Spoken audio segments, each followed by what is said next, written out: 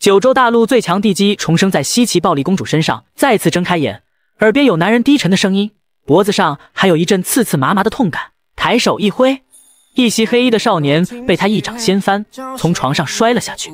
楚清皇缓缓从床上坐起身，沉默地打量着这华丽贵气的殿阁，接收着原主的身份故事。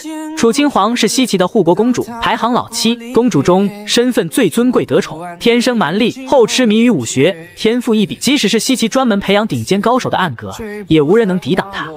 直到一个叫扶苍的人出现，是他唯一不可战胜的高手，所以。他便把扶仓从暗格要到了自己身边，做他的隐卫，想要驯服这个桀骜不驯、无比高傲的隐者。扶仓最终在楚清皇手里活到二十六岁。此时，扶仓跪在地上，极力抵挡药效，微微轻颤，等着公主发落。突然一声暴喝响遍整个宫殿。身为公主隐卫，不但以下犯上冒犯公主，居然连下药的手段都使了出来。请公主殿下立即下令将扶仓处死。此人便是原身楚清皇喜爱的驸马凤景之，原身强求圣旨赐婚，对他处处纵容，可这个男人却是个大渣男，利用原主的痴情，借原身的手除掉障碍，扶持三皇子上位，而后兔死狗烹。在扶仓死后第二年，一杯毒酒结束了楚清皇二十四岁的生命。这种人渣还真是让人想揍。楚清皇面无表情扫了一眼，冷声道：“出去跪着。”以之前驸马得宠的模样，扶仓薄唇微抿，正要起身离去。却听楚清皇再度开口：“凤锦之，本宫说的是你。”凤锦之不敢置信地看着他，楚清皇，你就这么着急跟一个侍卫行鱼水之欢？这是你用来激怒我的新伎俩吗？楚清皇，我告诉你，跟你成亲是圣旨所逼，你永远得不到我的心。就算你用尽手段，我也绝不可能对你妥协，更不可能跟你圆房。楚清皇蓦地抬手一挥，闭嘴！还在愤怒叫嚣的凤锦之瞬间被一股大力甩了出去，狠狠地摔在地上。凤锦之疑惑更加愤怒：楚清皇，你疯了！楚清皇却面无表情地注视着摔在地上的驸马。来人！凤锦之行为无状，冒犯本宫，拖出去重打四十大板。凤锦之脸色大变。没想到最爱自己的人会这么对自己，还在嚷嚷。公主府侍卫早就看他不顺眼了，得了令赶紧大力拽走，好好出口气。九州大陆最强地基重生在西岐暴力公主身上，干的第一件事就是将作威作福的人渣驸马打一顿，随后才缓步走向了他的隐卫扶仓，让他把面具拿下来。扶仓自知自己被人下药，但爬上公主床是真的，冒犯公主，下场从来都是死。楚清皇抬起扶仓汗流满面、微红的脸。看来是有人给他下药，要他以下犯上，好要了他的命，亲手摘掉他的面具。我的人生死只能我说了算。面罩被他随手一丢，这么俊俏的一张脸遮起来做什么？而扶仓眼下若不解了这要人命的毒，最多在一盏茶时间就得被生生折磨而死。楚清皇并不打算眼睁睁看着扶仓死，说道过来。扶仓心有余悸地看着那床榻，属下不敢。多年的相伴，他深知公主的脾性。还有他印入骨髓的忠诚，扶仓脸色再度煞白，到底还不能违抗命令，起身跪到了楚清皇脚边。是谁给你下的毒？楚清皇一边问，一边抬手贴在扶仓后颈，把冰凉的真气一点点输进去，缓解他身体里沸腾的灼烧感。扶仓神智逐渐恢复清明，回到凤景之。楚清皇眉头微皱，就这点伎俩都不能识破，反而中了暗算。本宫该说你防备心退化了，还是该把你送回暗阁重新训练？扶仓神色淡然回应：“凤锦之带的酒是殿下所赐，殿下赐的酒，属下不能不喝。所以你明知道有药，却还是喝了。”楚清皇又想起原主的行为，有那么一点心疼这个影卫。凤锦之被原主宠的，整个公主府上下都敢怒不敢言，而扶仓每天都被厌恶折磨到死。以原主的作风，就算扶仓说出实情，他也不会信。也就是这一次，原主把扶仓狠狠地整治了一顿，伤了他的底子。暗格出来的隐卫本是强悍，可建功立业、领兵做将，且忠诚刻入骨髓，绝不会叛主。若是能让暗格隐卫都只对自己一个人尽忠呢？门外侍女的禀报声打断了楚清皇的思绪。公主，驸马晕过去了。楚清皇回神问道：“他可知错？”侍女谨慎回道：“还没。”那就泼醒了，继续打，留条命就行。从现在开始，驸马在公主府中拥有的特权全部取消，不必过分优待他。侍女得了令，立刻传了下去，自己也松了口气。虽然他不知道是什么原因让公主突然间变得如此睿智，但这样的变化显然是极好的。忠心于公主殿下的人，没一个不讨厌凤锦之，恨不得让公主殿下立刻休了他才好。殿内，楚清皇又告诉扶仓，从现在开始，好好记住你的身份，你是本宫的隐卫，只服从本宫一人。这护国公公主府上，乃至整个西岐皇族，除了本宫之外，没有谁可以使唤你。这时，侍女准备好了沐浴的水，楚清皇点点头，吩咐扶仓留下，其他人全部退下。侍女们准备好一切后，乖乖退了出去。楚清皇淡淡喊了句宽衣，扶仓短暂的一愣，还是撇开眼，上去替公主宽衣。楚清皇整个人没入水池后，身心放松，声音显得懒懒的喊了句下来。扶仓揪着脸，伸手推自己的衣服，心里念道：怎能如此？就算身为隐卫，赤身死亡也太过羞耻了。楚清皇心下一惊，抬头看着面色窘迫的扶仓，居然能听到他心里的声音。美艳公主竟让隐卫下来与自己共浴，对于主子的命令，扶仓不能拒绝。执行命令第一次这么墨迹，赤身死亡也太过羞耻了。不料这些心里话却传入了楚青皇的耳中，或许是因为原主本就有这个异能，又或者是自己五感突然开了窍，竟然能听到他的心声。他是以为我要溺死他吗？内心戏倒是挺丰富的，也难怪他这么想。原主暴虐无常，的确擅长以各种方式折磨人。楚清皇转过身去喊道：“愣着做什么？赶紧下来给本宫捏捏肩。”拖到一半的扶仓有点惊讶，原来主子刚才没有想要杀我。褪去上衣的扶仓。背上还有清晰可见疤痕，他小心翼翼地拨开公主的秀发，眉间发怒，才缓缓给她捏起肩膀，感觉今天过得格外的梦幻。今日的公主好像换了一个人一样。楚清皇在自己内心回了他一句：“可不就是换了一个人吗？如果原主原本就有读取别人心声的异能，他武功无双，地位尊贵，还有扶仓这么强悍的隐卫，本该风光无限，怎么会被渣男利用落的那种结局？看来这异能与原主无关。扶仓。”听到公主突然开口叫了自己的名字，扶仓身躯微震，本能的在浴池中跪了下去。楚清皇让他把凤锦之在公主受罚，现在已经奄奄一息的事情传播出去，务必让满朝文武都知道。明日回趟暗阁，再挑几个隐卫过来。得到命令的扶仓慌忙逃离这个是非之地。楚清皇盯着扶仓离开的方向，若有所思。既然现在自己就是楚清皇，那就做这个身份该做的事吧。午膳时间，侍女摆满了膳食，楚清皇便将身旁的侍女都叫了出去，随后又叫来扶仓，让他坐在自己的对面。扶仓一怔，有些不敢相信。楚清皇看出了他的窘迫，因为以前吃的什么，本宫不过问，但即日起，你跟本宫一起用膳。扶仓端起米饭，是热的，很香，再次有种梦幻般的感觉，因为他之前从没吃过热乎正常的饭菜。听着扶仓的心声，楚清皇觉得他碰到原主真是可惜了。这么一个心思单纯、绝对的服从和忠诚、训练有素、最优秀的影卫，是他现在最能够信任的人。原主真是没眼光。这是扶仓在楚清皇身边的第二年，身体损伤尚浅，应该还养得回来，便开口让扶仓吃饭。以后不要再吃生冷食物，对身体不好。次日，驸马住处，一名女子正慌忙地推开房门，来人正是西岐的六公主。看着奄奄一息躺床上的风景之，她心疼得浑身颤抖起来。楚清皇是得了失心疯吗？他怎么可以这样对你？就在他转头传唤太医的时候，一道熟悉的身影却走了进来。皇姐对我的驸马这么上心，一个未出阁的姑娘家出入我公主府如无人之境，进来驸马的屋子更像是在自己宫里，这般行为。是打算和驸马私相授受吗？六公主连忙握紧楚清皇的手，解释起来，表面上劝和，说着一切都是为了妹妹好的话语，心里却想着这个蠢货到底是怎么了。楚清皇听了他的内心话，冷冷道：“六姐姐的意思是说我愚蠢？”直接将手抽了回来。我以前的确是蠢，既然六姐姐和驸马公然亲近，那我便成全这份情深意重，立即当众宣布，即日起，本宫休了驸马凤锦之。一个未出阁的公主闯入妹夫房间嘘寒问暖，这奸情藏都藏不住。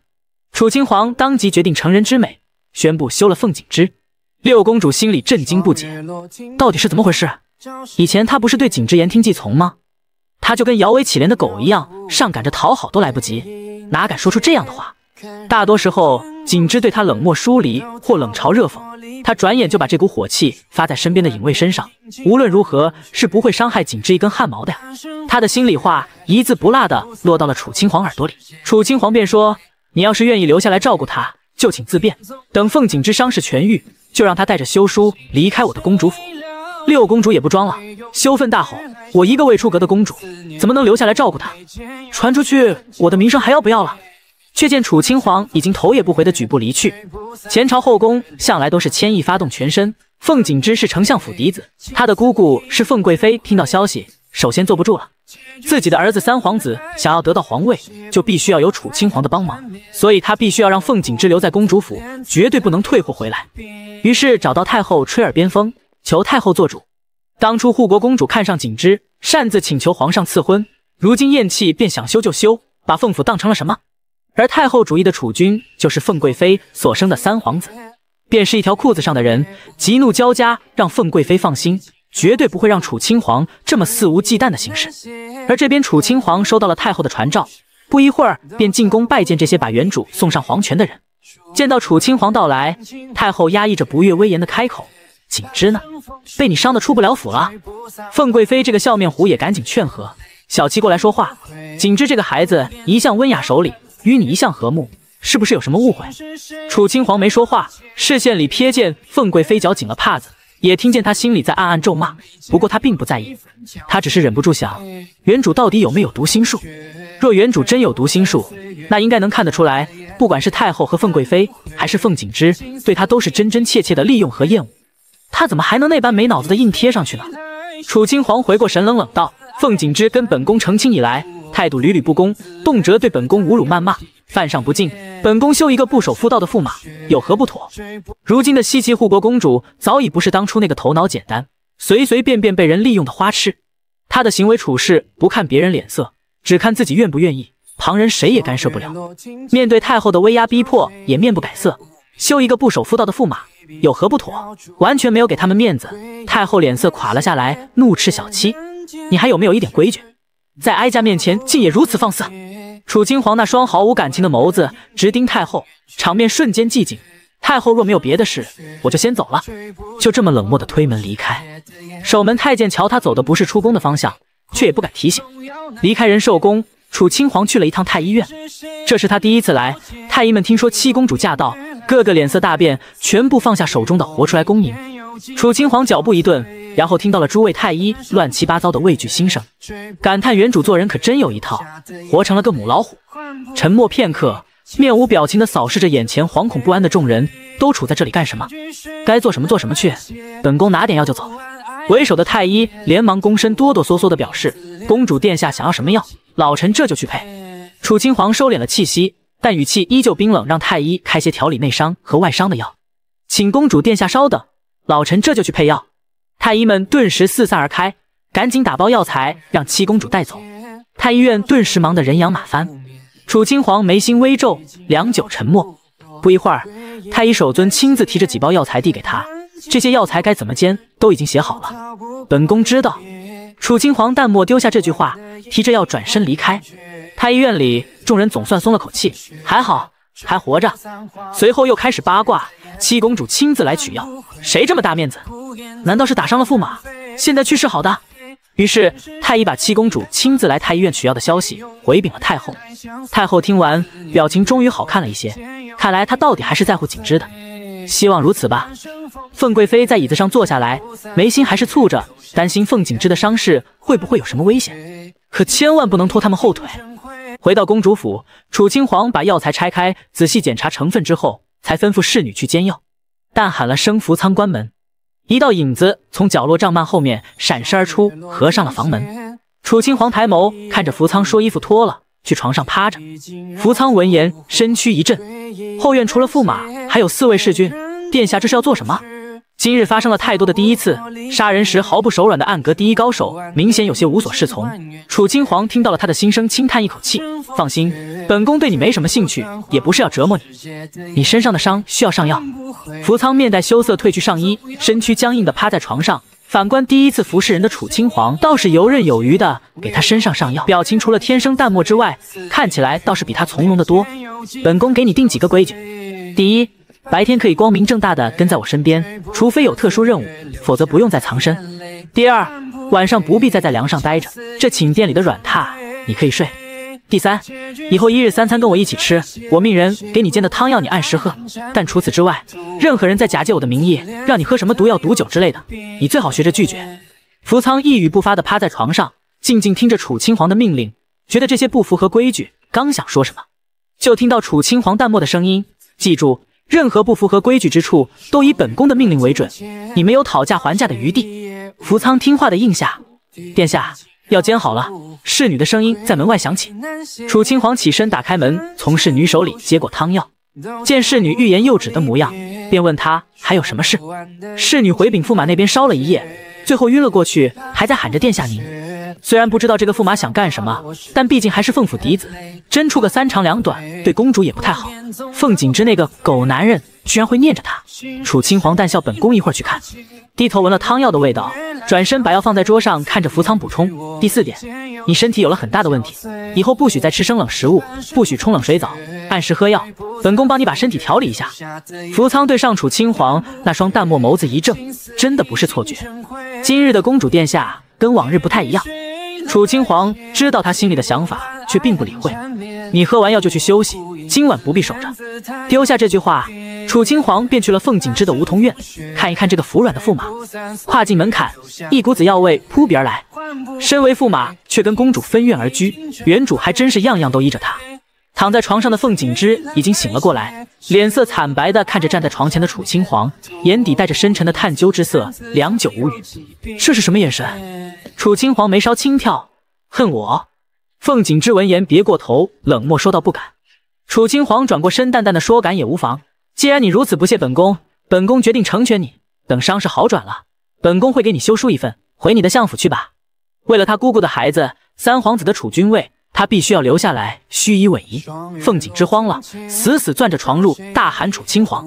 楚清皇却递给他一个再敢多说一句就得没命的眼神。凤锦之一噎，惨白的脸色越看越难看。以前楚清皇处处让着他，他有恃无恐，可如今不一样了。楚清皇并不想和渣男多待，转身走出内室，吩咐侍从好好照顾你家公子。丢下这句话，他举步离开。想想这六公主闹上门，太后和凤贵妃召见。而后凤锦之服软，接下来又会是谁坐不住呢？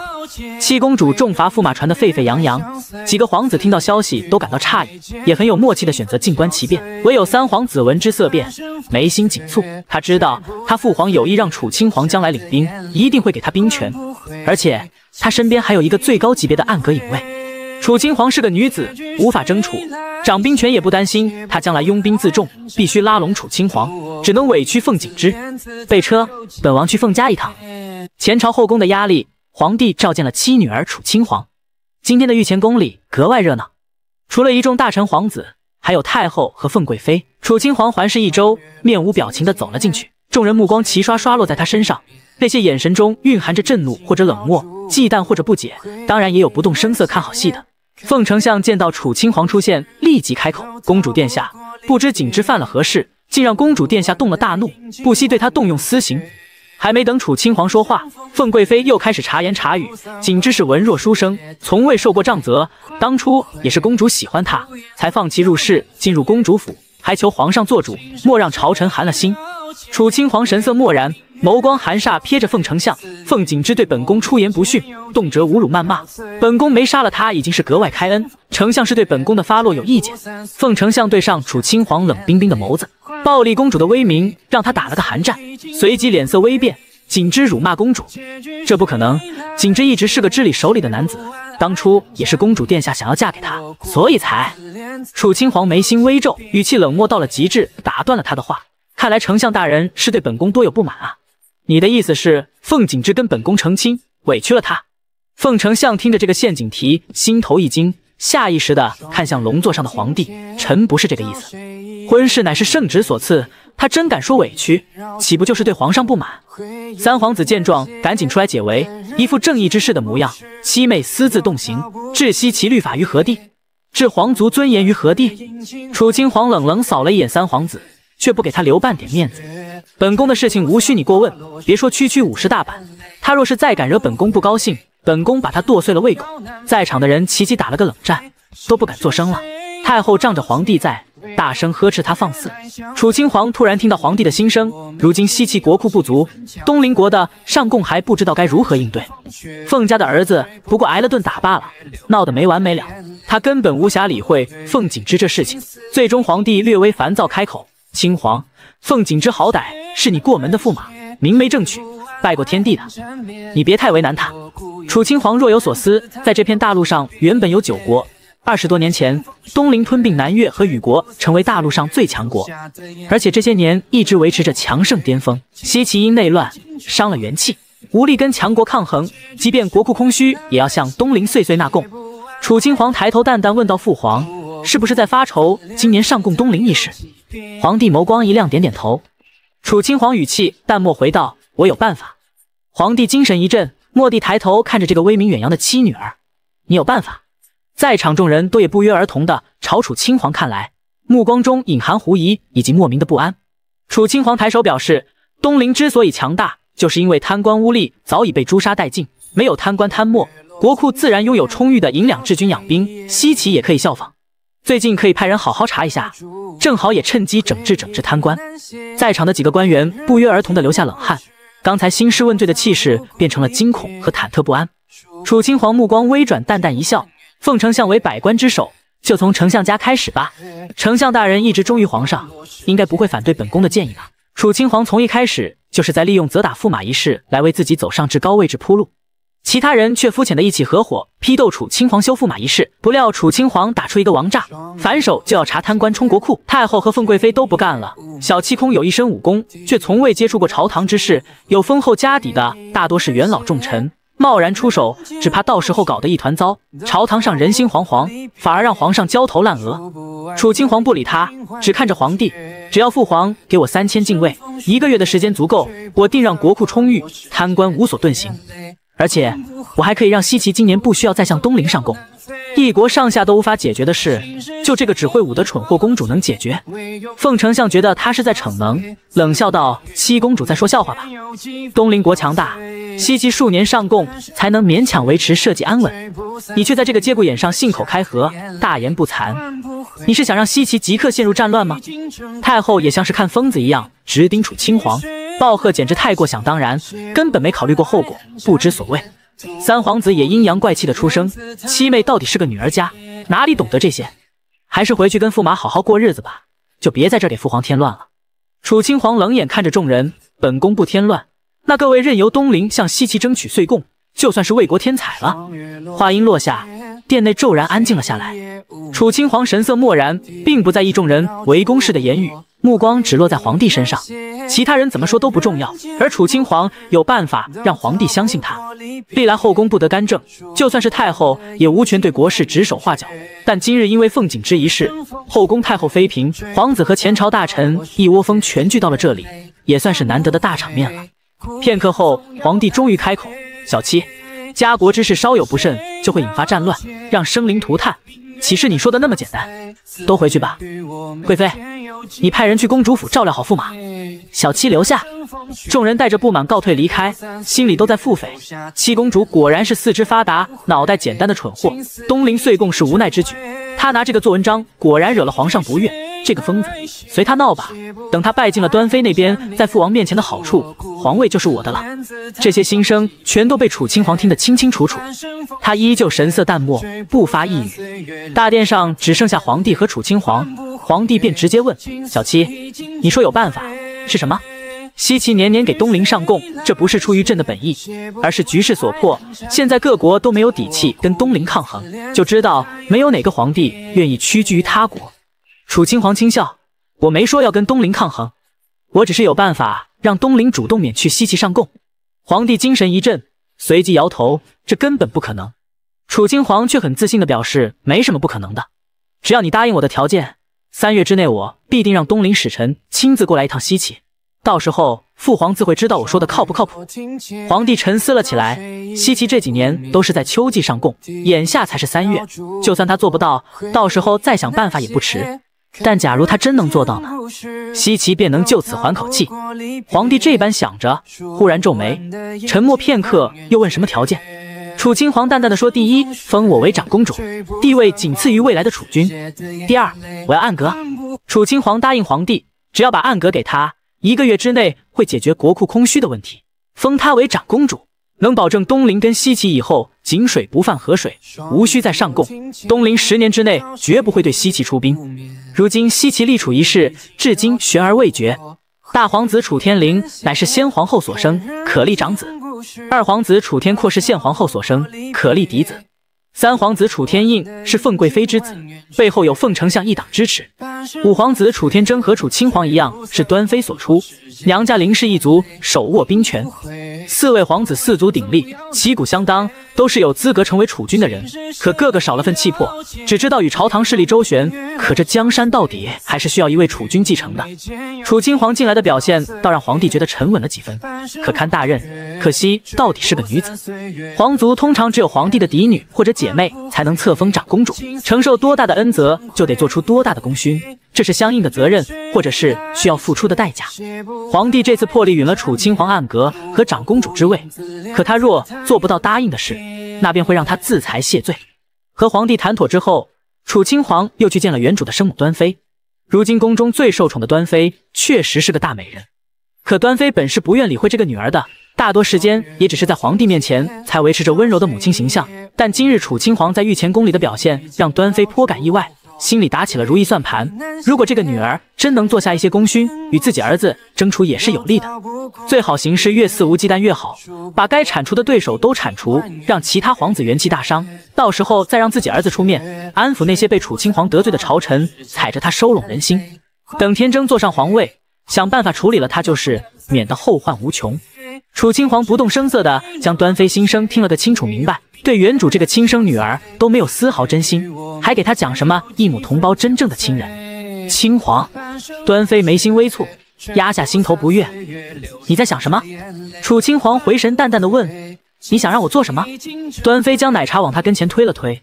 你就应了查抄大臣的事，这官员的位置自然是想动就动了。户部尚书家底丰厚，你二舅舅已经在户部侍郎的位置上许久了，你觉得是不是该往上提提？美艳公主破例或封长公主，尊贵无比，身边却都是恶意虚情的小人，就连亲生母亲都要利用她为哥哥的储君位做垫脚石。只有隐卫福仓从始至终都忠心待他。楚清皇将奶茶推了回来，抬眸看他，这件事我做不了主。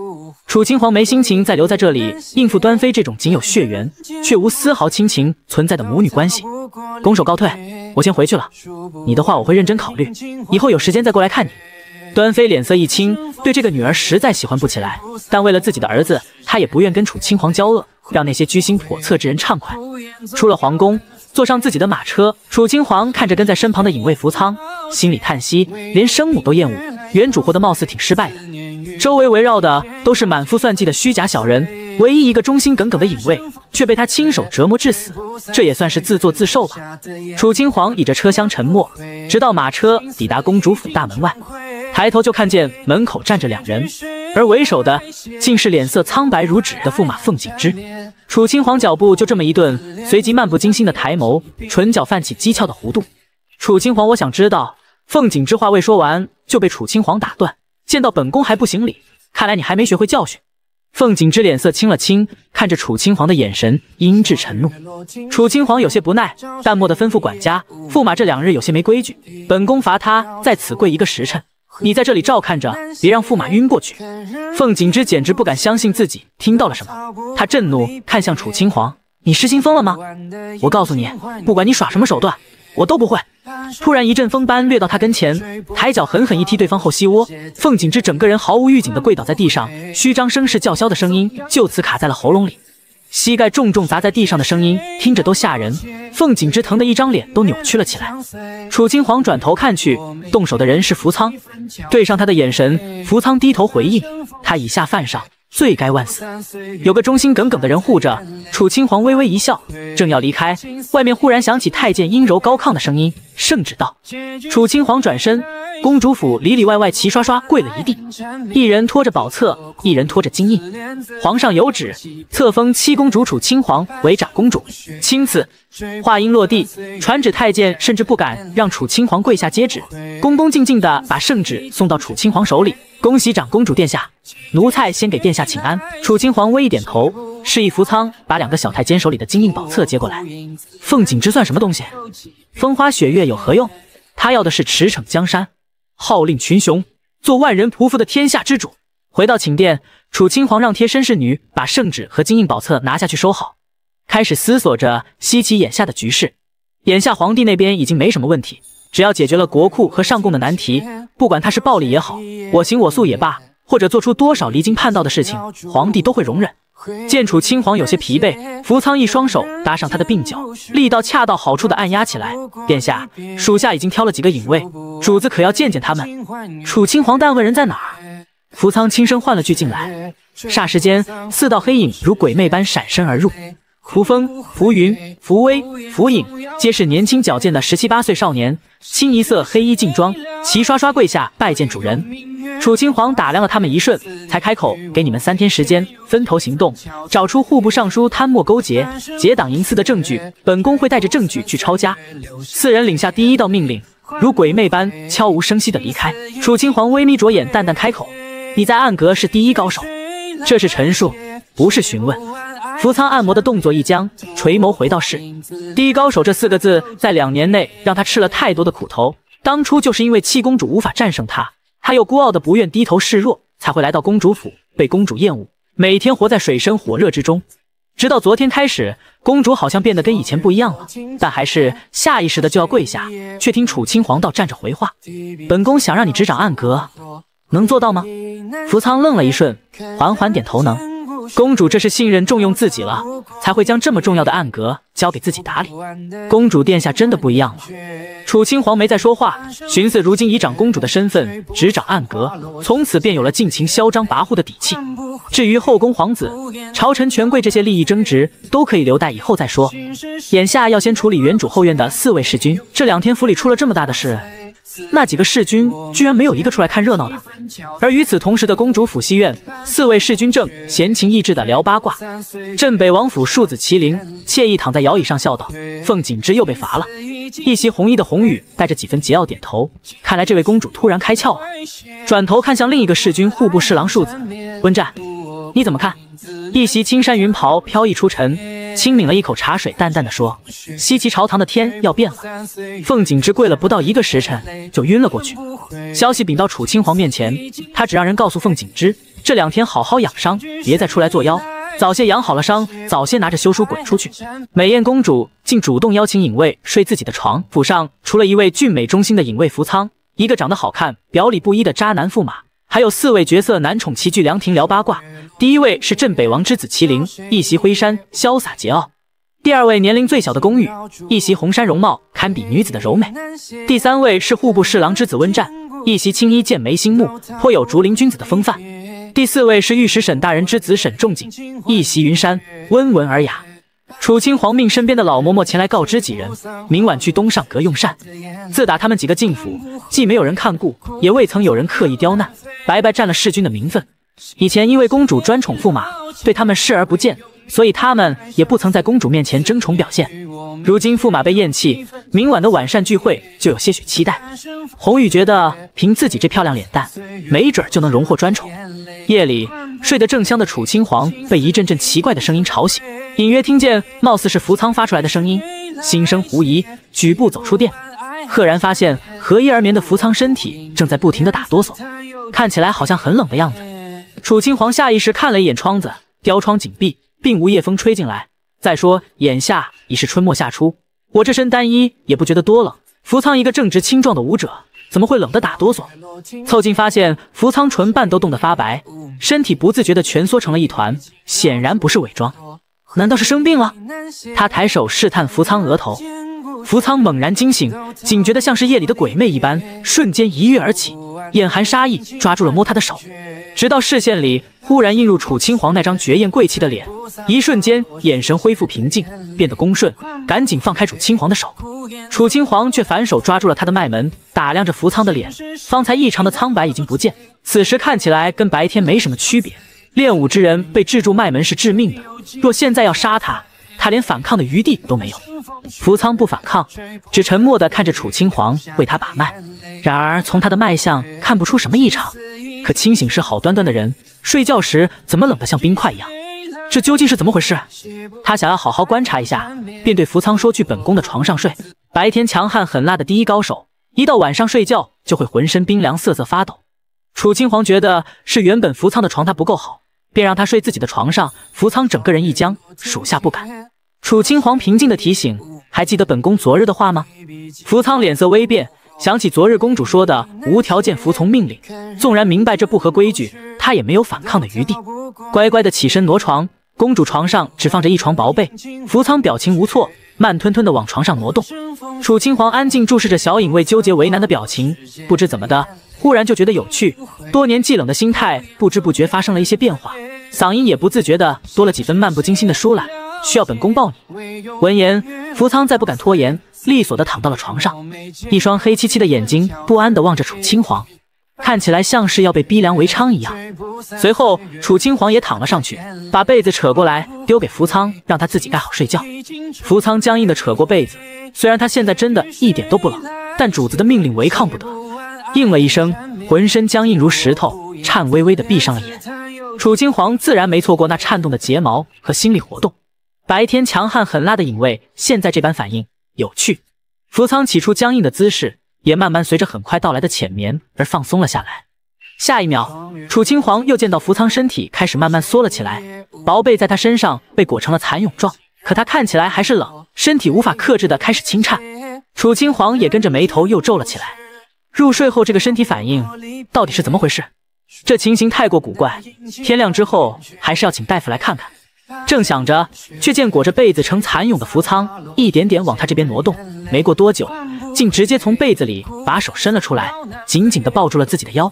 楚青皇微愣，然而目光落在扶仓渐渐安静下来的身体上，不由得纳闷：抱着我睡就不冷了？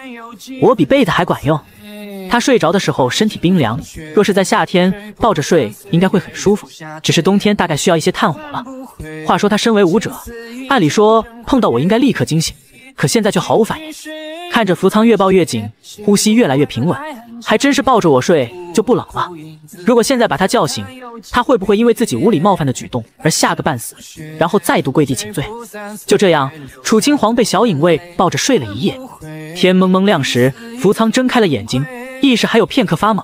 他从未睡过如此安稳、如此沉的觉。不过这点茫然发懵只维持了极短的时间。待他看到公主绝色的脸庞在自己眼前，自己双手紧紧抱着主子纤细的腰时，脸色煞白，瞬间弹坐了起来，跪着请罪。楚清皇慵懒地睁开眼睛，看着扶仓，抱着本宫睡得可好？因为一觉醒来，发现自己在公主床上，还抱着公主，吓得赶紧跳下床，跪地等着处罚。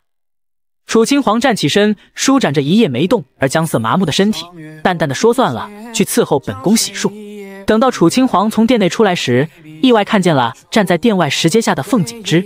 没想到他会拖着重伤未愈的身体，一大早就候在了殿外，还真是能屈能伸啊！凤锦之目光灼灼看着楚青皇：“青皇，我有话跟你说。”楚青皇淡漠的打量了一眼：“你是不是又忘了这是何处？”本宫才是这座府邸里唯一的主子，见到本宫不知道要行礼。凤锦之脸色骤变，极力压抑着心头升腾而起的怒火，忍不住在心里骂了一句贱人，开始示弱拘礼。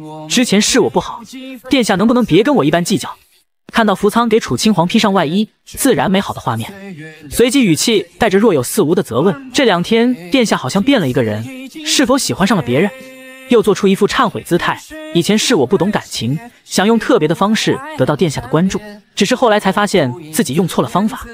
殿下能不能再给我一次机会？楚清皇冷漠地看着眼前人，装模作样，淡淡的询问扶仓：“你相信他说的话吗？”扶仓站在楚清皇身侧，在公主府两年，这个驸马的所作所为，他比楚清皇看得更清。瞟了眼那个虚情假意的驸马，回到：“不信。”凤锦之发狠地咬着牙，眼神鄙夷地看了一眼扶仓。他只是个隐卫，身份卑贱。殿下以前最是厌恶他，今日怎么？楚清皇看傻子一样的看着凤锦之，带着嘲讽意味说：“你怀疑他给本宫下了迷魂药？”然而凤锦之听了之后，竟肯定的点头，极有可能。楚清皇顿时无语了，他听不出这是讽刺吗？看来不仅是个渣男，还是个蠢男。语气淡漠的开口：“你能在此处等我，想必你的身体没什么大碍了。”这就回去梧桐院，把自己的东西都收拾一下吧。午后，本宫会派人把休书给你送过去。赶紧走，你别留在这里碍本宫的眼。见楚青皇如此决绝冷漠，凤锦之绷不住了，大喊：“楚青皇！”想着自己都如此低声下气了，这个贱人竟然还不满意。他的心里辱骂都进了楚清皇耳朵，脸色骤冷。昨日教的规矩，看来你还是没记住！话音刚落，凤锦之还没来得及反应，耳畔风声掠过，膝窝已经被人狠狠踹了一脚，熟悉的剧痛袭来，跟昨天一样，毫无预警的被踹跪在了地上。他的护卫一惊：“公子，你没事吧？”连忙去扶住他。凤锦之疼的脸色扭曲，怒火中烧的他却只敢在心里一遍一遍的骂着贱人。楚清皇眉梢微挑。骂来骂去都是这句，一点新意都没有，无趣。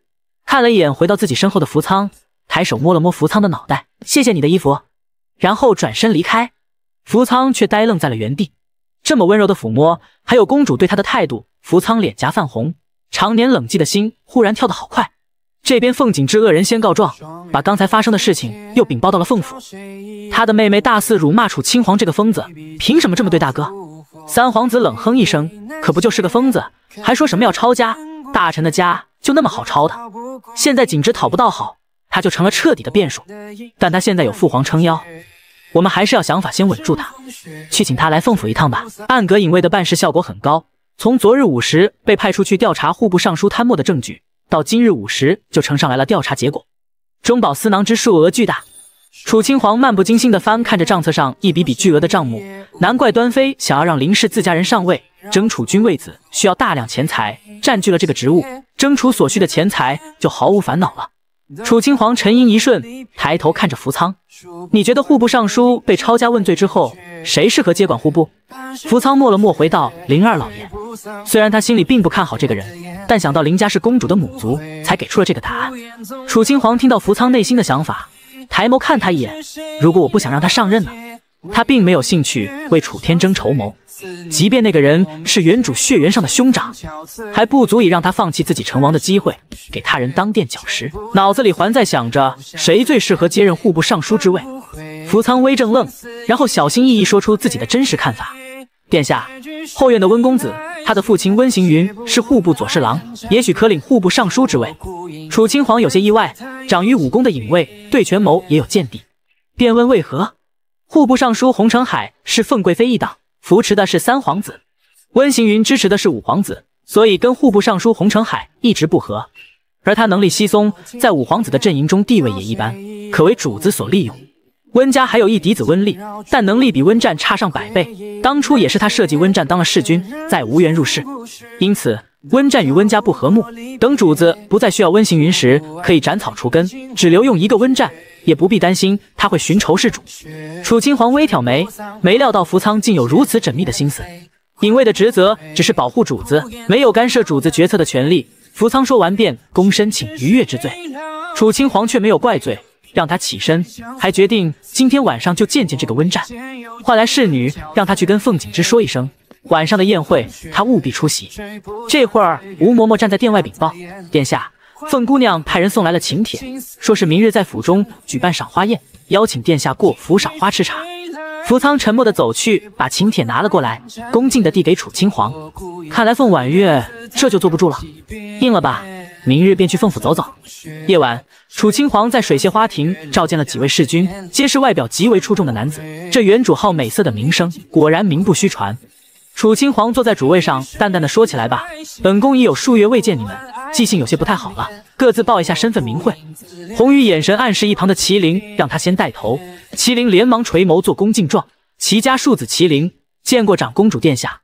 楚清皇对他们的容色和穿着打扮一点兴趣都没有，端起茶盏轻啜一口，听着几位侍君各报家门，不禁在心里腹诽：怎么都是庶子？这原主是特别钟爱庶子，还是因为庶子好欺负？被强掳进府也反抗不得。最后一位自报家门的就是温家庶子温战，就这样的气度，说他是温家庶子，还真让人难相信。本该驸马坐的位置，楚清皇却让小影卫坐了，这是要将他扶成正宫吗？气度高华的温家公子温战压轴出场，恭敬的行了一礼。楚清皇目光落在他面上，忍不住想挑眉。就这样的气度，怕是那嫡子也无法比。听闻你学识不错，温战微微一愣，怎么会关心我的学识？他应该感兴趣的不是我今天的容色和穿着打扮是否合他的眼吗？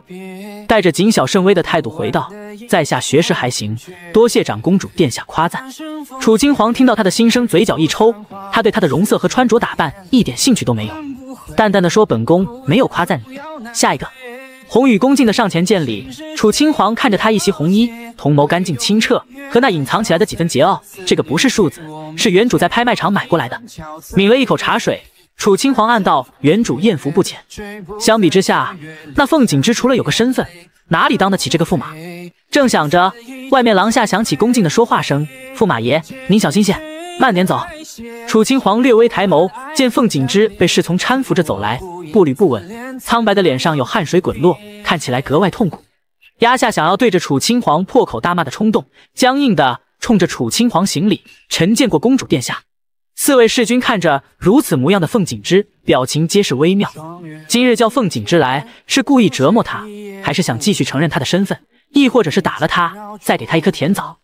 红宇这个不嫌事儿大的懒洋洋的提醒：“驸马爷。”公主殿下已经被皇上册封为长公主，所以你应该说见过长公主殿下。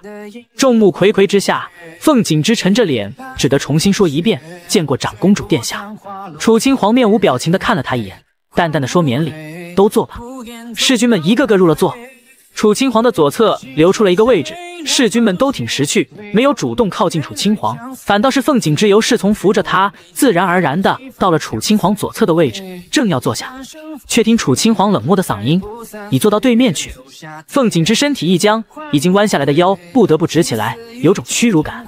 他冷冷怒视着楚青皇：“你到底什么意思？”楚青皇眉目微寒：“是还想跪着吗？”凤锦之咬了咬牙。压下愤恨，转身走到他对面的空位上坐了下来，屁股刚落到凳子上，就疼得他一个哆嗦，僵着身体不敢再动。红雨扑哧一声笑了出来，抱歉，我只是觉得驸马爷现在的情况属实有些惨，怕是跪着对他来说比坐下还容易一些。所有目光都聚集在凤锦之身上，凤锦之强忍着脸上火辣辣的难堪，在心里把楚清皇又狠狠地咒骂了一遍，才直起身体道：“你放肆，我站着吃。”温战从容不迫地开口：“驸马爷身体娇贵。”乍然被板子如此责打，自然受不住。虽然他的语气听着温和无比，可此时“身体娇贵”这四个字对凤锦之来说，无疑是赤裸裸的讽刺。麒麟也温声附和：“凡事都有第一次，我练武便是如此。等驸马爷多受几次罚，应该就没这么娇贵了。”凤锦之眼神阴冷肃杀，忍不住想发脾气。这些低贱的侍君，以往在他面前连说话的资格都没有。这会儿居然都敢落井下石，就不怕他以后报复？楚清皇像是没听见几人的口角之争，淡淡开口：“福仓，过来坐。”一身黑衣的福仓已经没有之前的不自在了，不发一语的走过去，在楚清皇左侧坐下来，场面为之一静。四位侍君目光齐齐从凤锦之脸上移开，转头看向福仓。他们还以为楚清皇是不愿意挨着人一起坐，没想到是他们料错了。楚清皇只是不愿挨着凤锦之坐而已。不过，贴身影卫什么时候能跟主子一起坐着用膳了？凤锦之脸色已经无法用难看来形容，那是一种混杂着震惊、愤怒、被羞辱的难堪，以及恨不得把他们杀死在眼前的尖锐愤恨。楚清皇却没管众人的诧异，只平静的吩咐：鉴于驸马身体不适，即日开始，公主府中除了本宫之外，对内主事大权全部交给福仓负责。如今的公主府，除了美艳公主本人，便是福仓地位权力最大。楚清皇当众宣布了这个决定，众人都很清楚，驸马已经彻底失势了。新秀是隐卫福仓。晚膳结束之后，楚清皇放下筷子，淡淡开口：“温战留下来，其他人先回去。”这顿饭吃的凤锦之早已接近力竭状态，在听到这句话，他恨得牙痒痒。今日过来这里受了小半个时辰的罪，就是为了给楚清皇一个立威的机会。还是说根本就是为了羞辱他？然而他此时实在没力气愤怒。这两天他被楚清皇搓磨的已经没了脾气，只能在心里咒骂来发泄不满，决定暂时忍下这股憋屈，等伤势痊愈了再跟楚清皇算账。花厅里很快就只剩下楚清皇和身边站好的福仓。温战默了默，恭敬开口：“不知殿下留我下来是为了何事？”楚清皇抬眸，面无表情的看着他：“听说你学识不错，还擅长算术，在温家没什么地位。”温战很诧异，公主从不关心后院侍君，这些都是听谁说的？默了一瞬，缓缓点头是。三言两语间，楚清皇已然看出这个温家庶子一直在韬光养晦，隐藏锋芒，等待时机，便直白的问他想入室吗？温战很意外，但凡是公主的男人，不管是丈夫还是男宠，都没有入室资格。短暂思索着楚清皇的用意之后，回到殿下，我入室有两个障碍，第一，按西岐惯例。弑君不可入室。其二，温家还有个赋闲的嫡子，父亲绝不可能让我越了过去。殿下若需要我入室，我愿意，但我有条件。楚清皇目光微抬，看着以一副绝对恭敬的姿态站在自己面前的男子，有些意外于他的胆大。毕竟放眼整个西岐，没几个人敢于跟楚清皇这个暴力公主谈条件。不过他也没说什么，随口问他什么条件。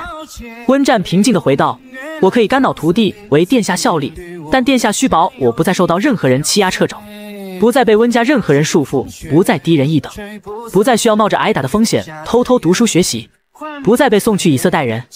哪怕有一天是父杀兄，殿下也得为我兜着。楚清皇站起身，就这么安静地看着温战，对于他的胆大智谋表示满意，缓缓点头成交。回去准备今年的秋闱吧。你的目标是成为状元。过几天是温大人五十大寿，作为人子，你该回去给父亲拜个寿。本宫与你同去。温战唇角划过一抹浅淡的弧度，撩了衣袍跪下，多谢殿下，臣不会让殿下失望。这一跪是宣誓效忠，是代表臣服，是誓约的开始。另一边，凤府为了凤锦之能留在公主府，他们专门举办了赏花宴，可凤锦之的妹妹却极不情愿。楚清皇那么对大哥，还专门请上门，真是晦气。凤锦之的母亲老白莲花劝他沉住气，等利用完楚清皇，日后自然有算账的时候。这时，一声长公主驾到。凤家门前下人纷纷跪倒，凤夫人带着凤婉月他们在中院迎接，还是从前那般假笑，故作慈善过去拉人。亲皇你来了。楚清皇的贴身侍女锦兰立即挡住凤夫人，冷冷提醒殿下已经被册封为长公主，封号地位与皇后相当，所到之处，臣民皆须以大礼参拜。凤夫人这是不懂规矩，还是故意怠慢？凤夫人正要斥责锦兰狐假虎威，目光对上楚清皇那双清冷的眸子，刹那间遍体生寒。凤家被下鸿门宴。以为能拿捏住美艳公主，不想楚青皇气势全开，由着侍女先给他各下马威。凤夫人牢记以前的楚清皇，每次来凤家时都一口一个母亲的叫着，觉得自己又有底气了，冷声呵斥锦兰让开，我跟殿下说话，轮得到你一个下人插嘴？凤夫人看着楚清皇，强逼着自己露出一个和善的笑意。清皇，你以前与我最是亲近。每次来凤家，我都把你当成亲生女儿招待。一眼看穿虚情假意的楚青皇，依旧面无表情，语气淡淡：“尊卑不可乱，凤夫人不必与本宫攀关系。”凤夫人心头恨极，面上却不敢流露出丝毫不敬，带着女儿乖乖跪拜行大礼。心里还嘀咕：这个贱人装什么装？刚册封长公主就开始摆架子了。若她只是寻常世家贵女，是景之娶进门的媳妇儿，我一定要好好教教她什么是孝敬婆母的规矩。楚清皇无视了她在聒噪的心声，说了句免礼，就举步往里面走去。刚坐下，凤婉月就尾随至楚清皇身侧：“殿下，我大哥，他死不了。”楚清皇依旧语气淡淡：“过几天等伤势好一些，你们就去把他接回来。”凤婉月一听接回来，笑容一僵。他们此次的目的就是要让凤锦之能留在公主府。收敛了情绪，笑道：“殿下是在开玩笑吧？我大哥跟殿下是圣旨赐婚，怎能轻易修复？”楚清皇平静地晃了晃手中的茶杯，不急不慢地说：“凤锦之在公主府里言语失德，犯上不敬，屡屡对本宫口出恶言，本宫休他不得。你不想让他被休回来，那留在本宫府上。”三天两头让本宫寻着借口搓磨一顿可好？凤夫人听到这句话很是不悦，心里咒骂这个贱人。我倒想看看他被泼上一头茶水，还会不会这么气定神闲。楚清皇目光微转，冷漠而平静地看着他。凤夫人，你是不是特别想用茶水泼我？凤夫人准备拿茶杯的手一顿，被楚清皇看得头皮发麻。他强自镇定的开口：“怎么会？”楚清皇眼神越发寒凉的看着凤夫人，最好不会，毕竟冲动会坏事。本宫可不知道自己被惹怒后会做出什么事来。凤夫人忽然就想到了楚清皇暴力残忍的名声，脸色顿时惨白，大气都不敢出。楚清皇放下了茶杯，看了一眼面色惨白的凤夫人，赏花吃茶得有个好心情。今日本宫心情不太好，以后有空再说吧。说完，转身往外走去。凤夫人没事的时候，其实可以吃吃斋、念念佛，修养身心，去去身上的浮躁之气。本宫再给凤锦之三日时间养伤，三日之后，凤夫人最好派人去把她接回来，否则别怪本宫用非常手段。凤夫人盯着楚清皇张狂的背影，心里恨不得楚清皇当场暴毙。这个贱人来了不到一炷香时间就走，根本不是来赴宴，就是专程来羞辱我、羞辱凤家的。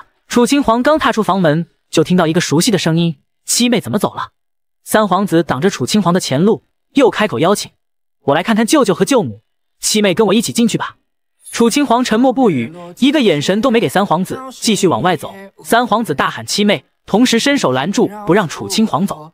只是下一秒，他的手刺痛，被迫收了回去。扶仓打退那只猪爪，现身将楚清皇护在身后，冷冷地看着三皇子。三皇子抱着手臂呻吟，疼得他脸色煞白。身后的侍卫齐齐抽出长剑，寒光四射，不约而同地指着站在楚清皇身侧的扶仓：“刺杀皇子，罪无可赦！犯上行凶，罪该万死！还不束手就擒！”这些人这会儿有多装逼，等会儿就有多怂。不知从哪里借的胆子，竟敢当着暴力公主的面要杀公主的影卫。楚清皇眉心微皱，冷冷看着眼前三皇子的几个护卫，想死。几个护卫不安的面面相觑，颤抖的说：“公主殿下的护卫打伤皇子，乃是犯上行凶，按罪当诛。”楚清皇慢条斯理的抽出腰间的鞭子，神情冷漠的看着三皇子：“谁先来？”这明显是要护短，再稀奇也没几个是楚清皇的对手。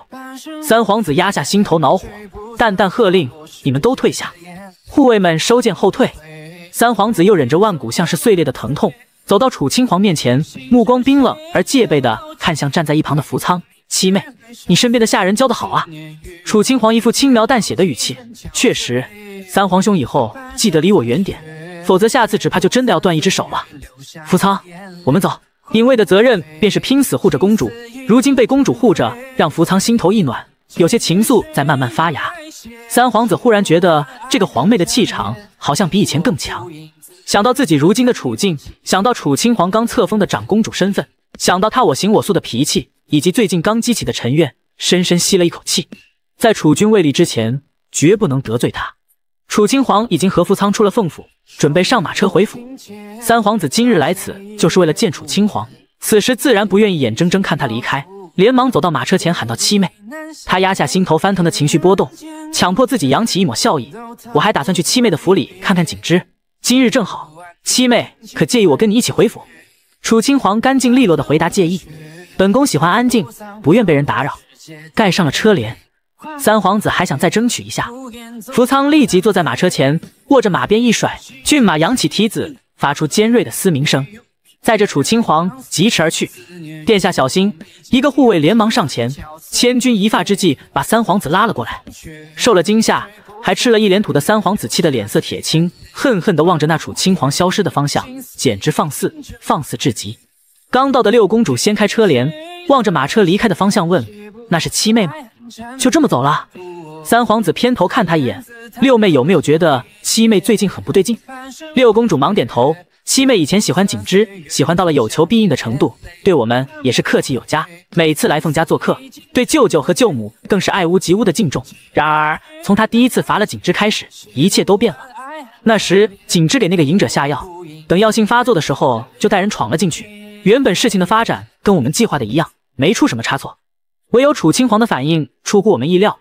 楚清皇以前最讨厌扶仓，该治罪的人是隐者扶仓才对。可那日楚清皇偏偏不按常理出牌，罚了景之，让人百思不得其解。到底发生了什么事，才导致楚清皇突然性情大变？三皇子手上的刺痛让他想起楚清皇方才对扶仓的维护。对了，那个隐者七妹对他的态度也很不一样了。六公主脸色微变，不论他为何性情大变。既然楚清皇不能为我们所用，那他对于三皇兄来说就意味着随时可能存在的变数，我们必须想办法除掉他。三皇子何尝不想？但扶仓身手太厉害，有他在，许多事情便做不了。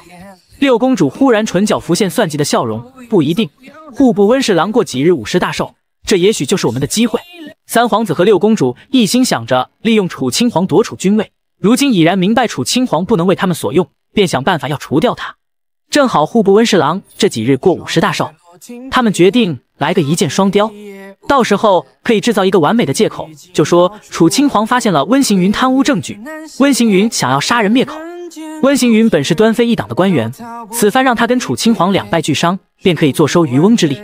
六公主说完自己的一番计谋，三皇子满意的点头，这个主意很不错，但是需要可靠的人来执行。六公主笑了笑，并不需要多可靠的人。温家嫡子跟温家庶子不和，直接让温家嫡子来实施计划会更完美。我们也可以置身事外。三皇子点头嗯了一声，忽然叹了口气：若六妹也有楚清皇这般武力，那就更好了。我们压根用不着去讨好别人。三皇兄不用担心，争楚靠的不是蛮力，而是脑子。有计谋才能让能人为三皇兄所用。只等三皇兄坐上了那个位置，还愁没有高手可用。这句话说到了三皇子的心坎里了，他已经在幻想自己坐上那个位置之后一呼百诺的场景，一声令下，想让谁死谁就死，想让谁活谁就活。楚青皇算什么？扶仓又算什么？那个位置必须是他的。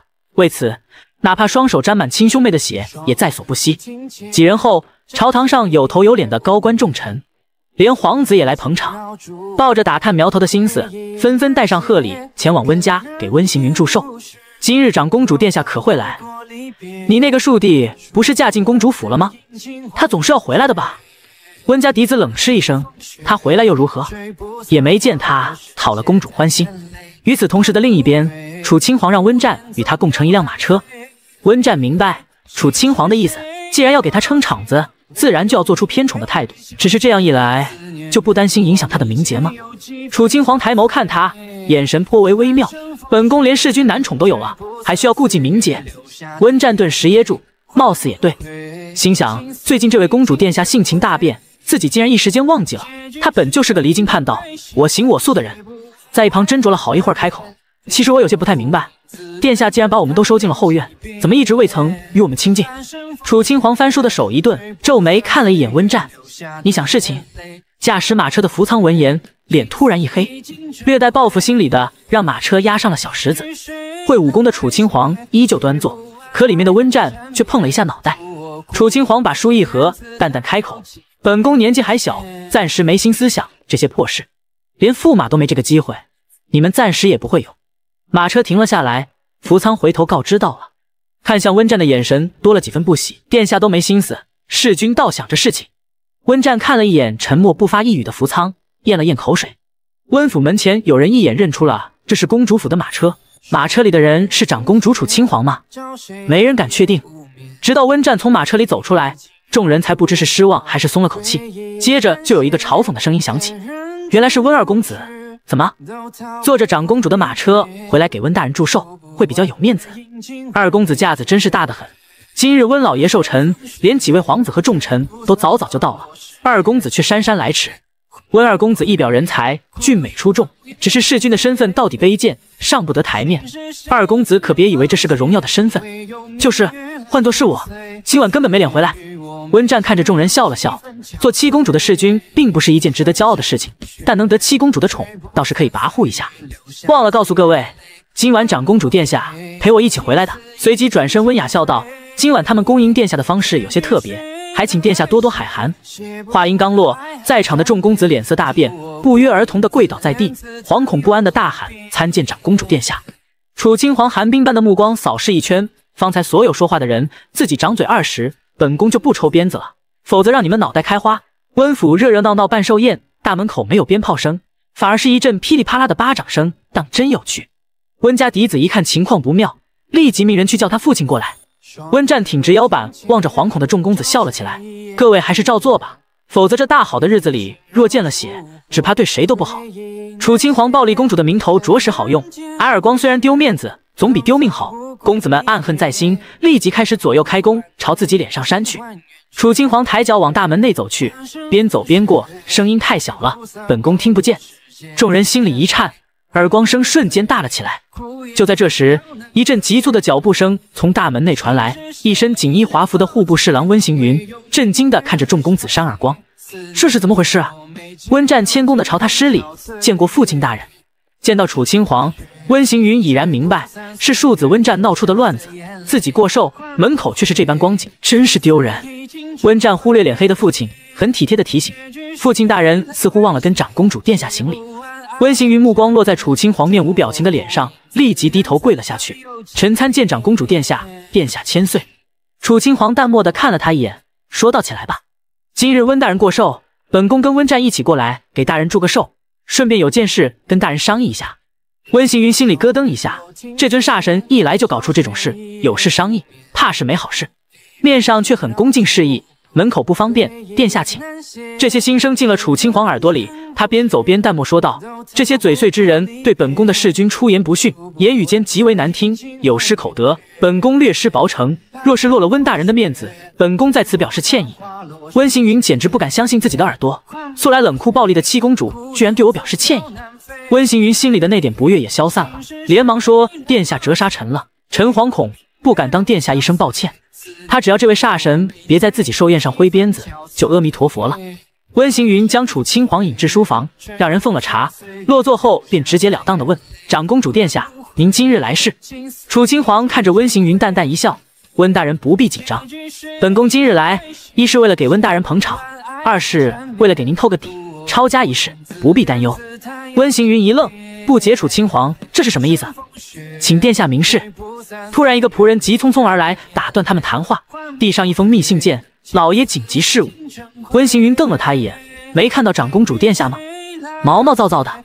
楚青皇端着茶盏，淡漠的说：“既然是紧急事务，温大人就看看吧。”温行云有种不好的预感，当即展开信件，信上赫然写着：“长公主已掌握证据，明日将查抄温府。”温行云心下慌乱，下意识的把信揉了起来。楚清皇清冷淡漠的目光落在惶恐不安的温行云面上，漫不经心的开口：“是关于本宫的。”户部侍郎温行云大寿，楚清皇陪着温战到访，一来给自己弑君撑腰，二来顺便搞个事业。没聊几句，温行云就已经瑟瑟发抖。暴力公主煞神的名头可不是虚的。与此同时的另一边，温战独自上了二楼，此处是专门接待世家公子的地方。他的到来引得众人侧目，眼神各有不同。温战在温家没什么地位，如今又是长公主府侍君身份，对于自持清高、正儿八经的世家公子来说，意味着是一种屈辱。就是父亲和兄长都会看不起。这不，温家嫡子温丽鄙夷的看着温战，温家出了你这样一个子嗣，真是家门不幸。身为男子，以色待人，仗势欺人。温战，你真是自甘下贱。温战闻言却不慌不忙地笑了起来。兄长不下贱，方才在门外怎么就没勇气护着你的这些酒肉朋友？当着长公主的面做缩头乌龟，离开长公主的视线就敢对我讽刺谩骂。兄长还真是一个有担当的好儿子。温战说完，自顾自地坐了下来。温丽觉得面子挂不住，暴喝一声：“你恬不知耻，躲在女人身后耍威风！”温战笑容依旧，只是莫名让人有股寒意。从兄长算计把我送进长公主府那天开始，支持这种东西就跟温家没什么关系了。我不支持，兄长也好不到哪里去。当初温丽设计让温战沦落弑君，毁了他大好前程，可面上却一直给他人营造出是温战自甘堕落。假清高的他脸色瞬间铁青，大喊：“你信口开河！”在门外挨过巴掌的男子也怨恨的开口：“明明是温二公子自己仗着一张小白脸吃软饭，居然还敢把责任都推到大公子身上，果然仗着有长公主庇护，什么瞎话都敢编，真无耻！”温战温雅的笑了笑，多谢方公子抬举。我也觉得我这张脸长得挺适合以色示人的。近日刚刚得了长公主殿下的宠，方公子平日里还是多读书为好，不然连骂人都没有词汇，骂来骂去就那两三句，着实没什么意思。几人嘴上功夫都落了下风，温丽气急了，阴沉的喊了声温战。温战依旧温和的笑着，兄长莫要冲动，今日长公主来给父亲贺寿，兄长应该并不想让场面弄得太难看吧？温丽阴沉着脸坐到主位上，不再跟温战说话了。楚清皇可是个不讲情面的煞神，他不得不克制着自己的脾气，恶狠狠地瞪着温战，心里腹诽：才离开温家几天，胆子就变得这么大了，该如何让温战死无葬身之地呢？忽然，户部尚书之子红月突然不温不火的开口：如今这世道当真是乱了，嫡子忍气吞声，庶子趾高气昂，如此尊卑不分，家规不严，若是让皇上知道了，也不知会不会斥责温大人治家不严，家风混乱。刚灭下去的火，噌的一下又烧回来，还越来越猛。温丽怒火中烧：“是啊，我是嫡子，我凭什么忍气吞声？一个卑贱的庶子，就算入了公主府，他也还是温家庶子，在他这个嫡兄面前，就该卑躬屈膝，摇尾乞怜。”温丽这么想着，目光落在温战脸上，决定给他一点教训。风花雪月虽然美，可楚清皇无心观赏，一心只想搞事业。与弑君温战达成了合作后，便由他出面去温府给自己助力铺路。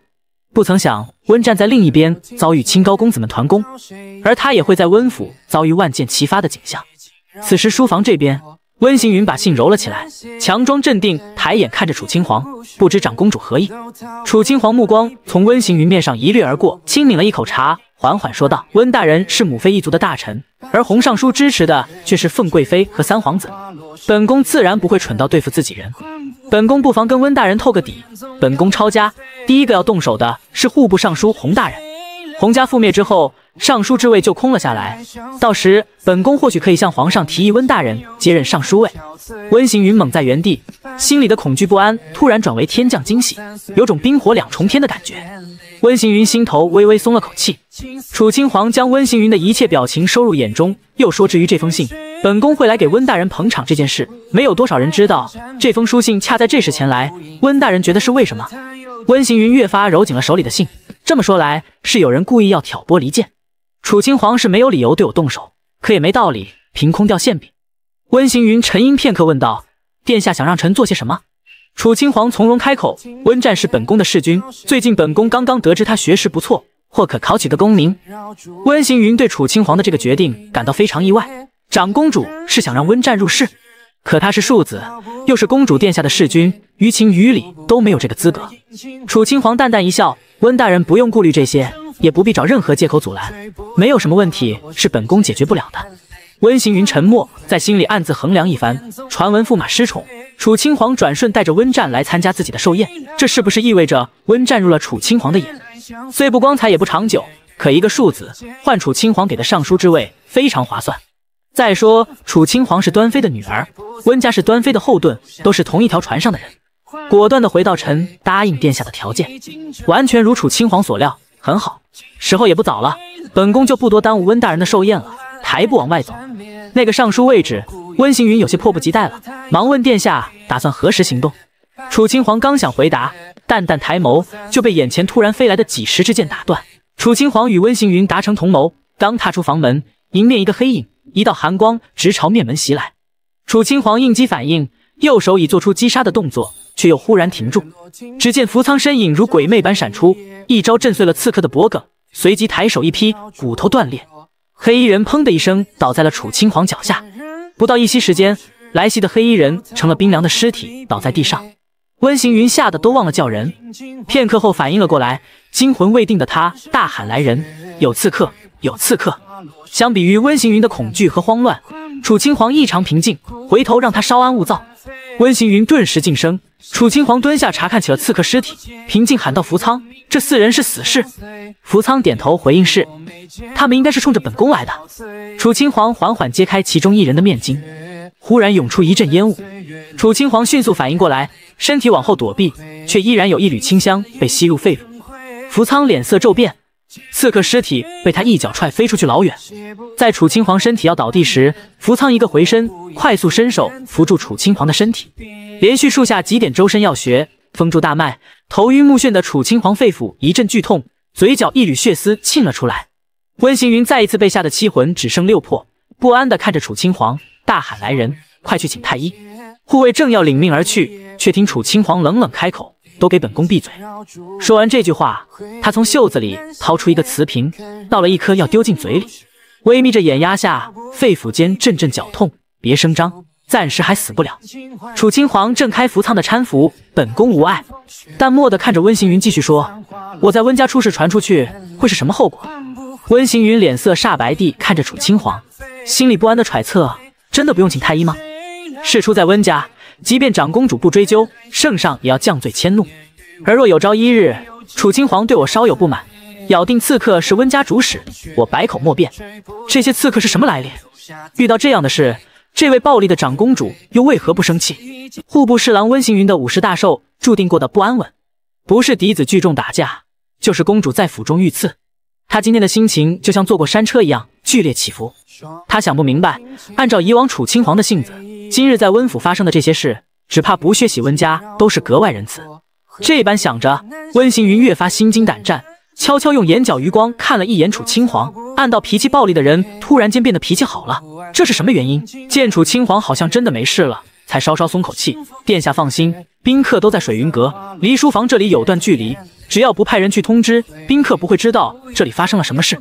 楚青黄沉默着，转头看向站在一旁的福仓，一身黑衣的福仓微垂着眸，脸色白得有些不太正常，完全失去了隐卫该有的镇定，身子都在微微发抖。福仓这是在害怕，楚清皇心有所动，轻轻把手搭在福仓微抖的大手上，淡淡喊道：“福仓，主子受伤流血是隐卫的失职，听到主子的传唤，福仓抬眸，眼底带着无法掩饰的空寂和恐惧。楚清皇没有料到福仓会这么大反应，淡笑道：“是本宫疏忽大意，跟你没关系，本宫不会治你罪。”扶桑低头看着被楚青皇拉住的手，还有公主的浅笑，很温暖，脸颊不自觉泛起红晕，所有不安的情绪也消散了。良久才细不可察的点头是。温行云看着地上的几具尸体，还有些后怕。长公主殿下，这几具尸体应该怎么处理？楚青皇淡漠，回到找一个没人的地方，放火烧了便是。温行云连忙安排人搬运尸体，又郑重朝楚青皇说道：“刺客一事，臣一定会给公主殿下一个交代，让殿下受了惊吓，臣罪该万死。”楚青皇淡淡看了他一眼：“刺客一事，本宫自会去查，你不用过多费心。”忽然一声惊呼传来：“大人！”不好了！大公子和几位少爷把二公子给打了。温行云心里咯噔一下，有些心力交瘁。好好的一个寿宴，接二连三出事，那些公子哥不长眼，得罪长公主，刺客又上门行刺，害得长公主差点命在旦夕。眼下连素来引以为傲的嫡子也给他添乱，嫡子仗着身份对庶子百般羞辱，庶子有长公主撑腰毫不退让。一旁自视清高的纨绔子弟煽风点火。却不知他是在加速家族灭亡，而他们看不起的庶子很快就要骑到他们头上。温行云听到下人禀报二公子被打了，脸色大变。这庶子怎么这是长公主的弑君？不看僧面也得看佛面，不由自主地加快脚步往上走去。楚清皇本来打算带着福仓回府，一听温战被欺负，倒要去看看是哪个不知死活的。走到水云阁楼下，就听到温丽愤怒的声音：“国有国法。”家有家规，别说你现在只是长公主府的侍君，就算你以后成了驸马，也依然是温家庶子。在我这个兄长面前，你只能跪着说话。本少爷今天就让你知道知道什么是家规。此时，一护卫正粗鲁地把温战压到温丽面前，用蛮力想让温战跪下。其他世家公子不是在看热闹，就是冷眼旁观，置身事外。听到这话的温行云三步并两步，快速上楼，大喊住手！抬手一个耳光扇了过去。你这个逆子，能不能安生一些？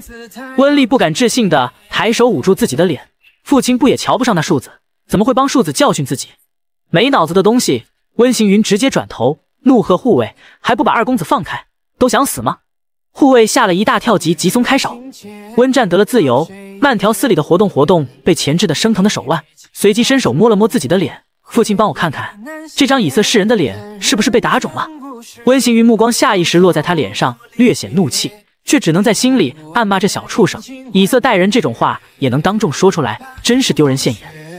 心思沉稳的如玉公子，有了长公主的护短撑腰，今天不妨做一回娇滴滴的白莲花。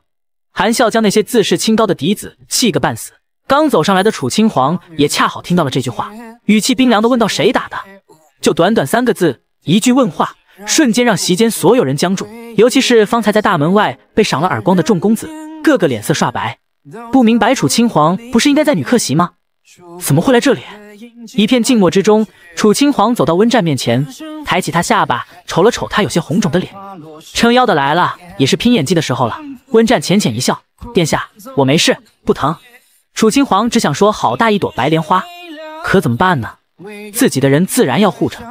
温丽还僵站在椅子旁，一双眼阴冷的看着温战，心里无数次后悔没在他进入长公主府之前把他嗓子给堵哑，把他这张脸也毁了。看他还如何以色示人。楚清皇声音淡漠，但周身气势全开。谁来解释？本宫时间有限。众人大气都不敢出。一个拿着折扇的男子站起身免强行了一礼，在下户部尚书嫡子红月，见过长公主殿下。这世间。哪有嫡子被庶子踩在头上作威作福的？温大公子想必觉得我这话有道理，看不过去二公子趾高气扬罢了。红月仗着洪家是太后亲族，他父亲是二品尚书，且手掌财政大权，自我优越感极强。寻思楚亲皇怎会为了区区一个弑君把他怎么样？太后意向的储君人选是凤贵妃所出的三皇子，三皇子的舅舅又是当今丞相，一个个皆是中枢权臣，所以。红月可以说比在座的这些公子哥都要高上一等，别说一个公主，就算是今天来给温行云捧场的诸位皇子，也不会在明面上给红月难堪。打了红月的脸，就是打当今太后的脸，这一点人情世故，混迹朝堂的人都懂。户部尚书嫡子红月，骄傲自己的出生和家族，公然不把长公主楚清皇放在眼里，却不知他下一秒就要体会家破人亡。觉得混迹朝堂的人都该懂人情世故，可惜红月今天遇到的偏偏是不按套路出牌的暴力公主。一阵静默之后，楚清皇冷冷开口：“给温战赔礼道歉，本宫可以放过你。”红月脸色瞬间沉了下来，傲气的看着楚清皇：“让我给一个以色示人的东西赔礼？不可能！我堂堂户部尚书嫡子，当着这么多人的面，给一个上不得台面的卑贱玩意儿赔礼道歉，真是好笑。”温战却低眉垂眼，一副温润谦恭的模样，脸上始终挂着从容的浅笑。殿下，没什么的，这个身份本来就会被人看不起，不过我并不觉得丢人，能伺候殿下是我的荣幸。楚清皇面无表情的看他一眼，暗叹这家伙心思真多。楚清皇抬眸看向红月，所以你是不打算赔礼道歉？红月立即回道，在下没有赔礼道歉的理由。楚清皇点头。希望一个时辰之后，你还能继续嘴硬。随后，他转头看向温行云：“今日温大人寿辰，本宫承诺送你的贺礼很快就会奉上。但温家长子欺负了本宫的人，这一点还请温大人给本宫一个交代。”温行云很清楚，这嫡子的屁股开花才能过去，心下一沉：“是殿下放心。”楚清皇又补充了一句：“明日本宫会派人来验伤，温丽的伤势让本宫满意了，温大人就会心想事成；不满意的话。”温大人就别怪本宫说话不算话了。他转身就走，福仓点齐本宫的三千禁卫，今晚抄户部尚书洪承海的家。福仓应了声，身后的众人都被最后一句话砸得齐齐色变。暴风雨要开始了。三皇子想着，算算时间，派去温家刺杀楚清皇的死士，应该已经动手了。心情惬意的喝茶等消息。见到侍从过来，他一脸欣喜，是温府传来好消息了吗？侍从却回道：“楚清皇为了给温战出头，要带人去抄洪尚书的家，这会儿已经带着他那个影卫离开温家了。”三皇子惊得豁然站起：“你说什么？那几个死士还没动手吗？”侍从也觉得奇怪，按理说应该动手了，但是楚清皇还活着。三皇子脸色格外难看。楚清皇为什么没死？就算没死，也该重伤或者中毒了才是。原本计划长公主在温家出事，很快就会有人禀报到皇上面前，然后温家遭殃，今晚的五十大寿就会成为温行云的死期。可为什么会发生这么大的偏差？另一边温府，红月又惊又怒：“温大人，长公主这是什么意思？就因为不愿意给温战赔礼道歉，就带人去抄家？他眼里还有王法吗？”温行云现在没空理会一个将死之人，冷冷地说：“本官也不清楚，摆明了下逐客令。”红月依旧仗着背靠太后家族强大，没什么危机感的回府了。虽然温丽是温行云最钟爱的嫡子，但为了户部尚书之位，今晚只能委屈他了。命人把温丽带去祠堂加法伺候。他知道楚清皇就是要当着这么多的面惩罚温丽，才能让其他公子都知道得罪了楚清皇的下场，以后说话做事才能懂得谨言慎行。不管是温战也好。还是其他人也罢，既然进了长公主府，那就轮不到谁来羞辱贬低。温丽至今都不敢相信他爹会家法处置他，不敢置信的问：“爹，我做错了什么？”温行云头回，发现这嫡子的脑子这么蠢，冷冷看着他：“你错在不该对长公主府的人无礼。不管温战以前是什么身份，现在他都是长公主的人，你得罪了长公主，难道不该被罚？”说着，他转头冷喝护卫：“你们还愣着干什么？把大公子带去祠堂。”老爷最宠这个作威作福、趾高气扬的嫡长子，今天不仅当众扇耳光，还要带去祠堂重罚。护卫们跟做梦似的。以往主子犯错，受罚的永远是下人，这是世家惯例。没想到今日却是大公子遭殃。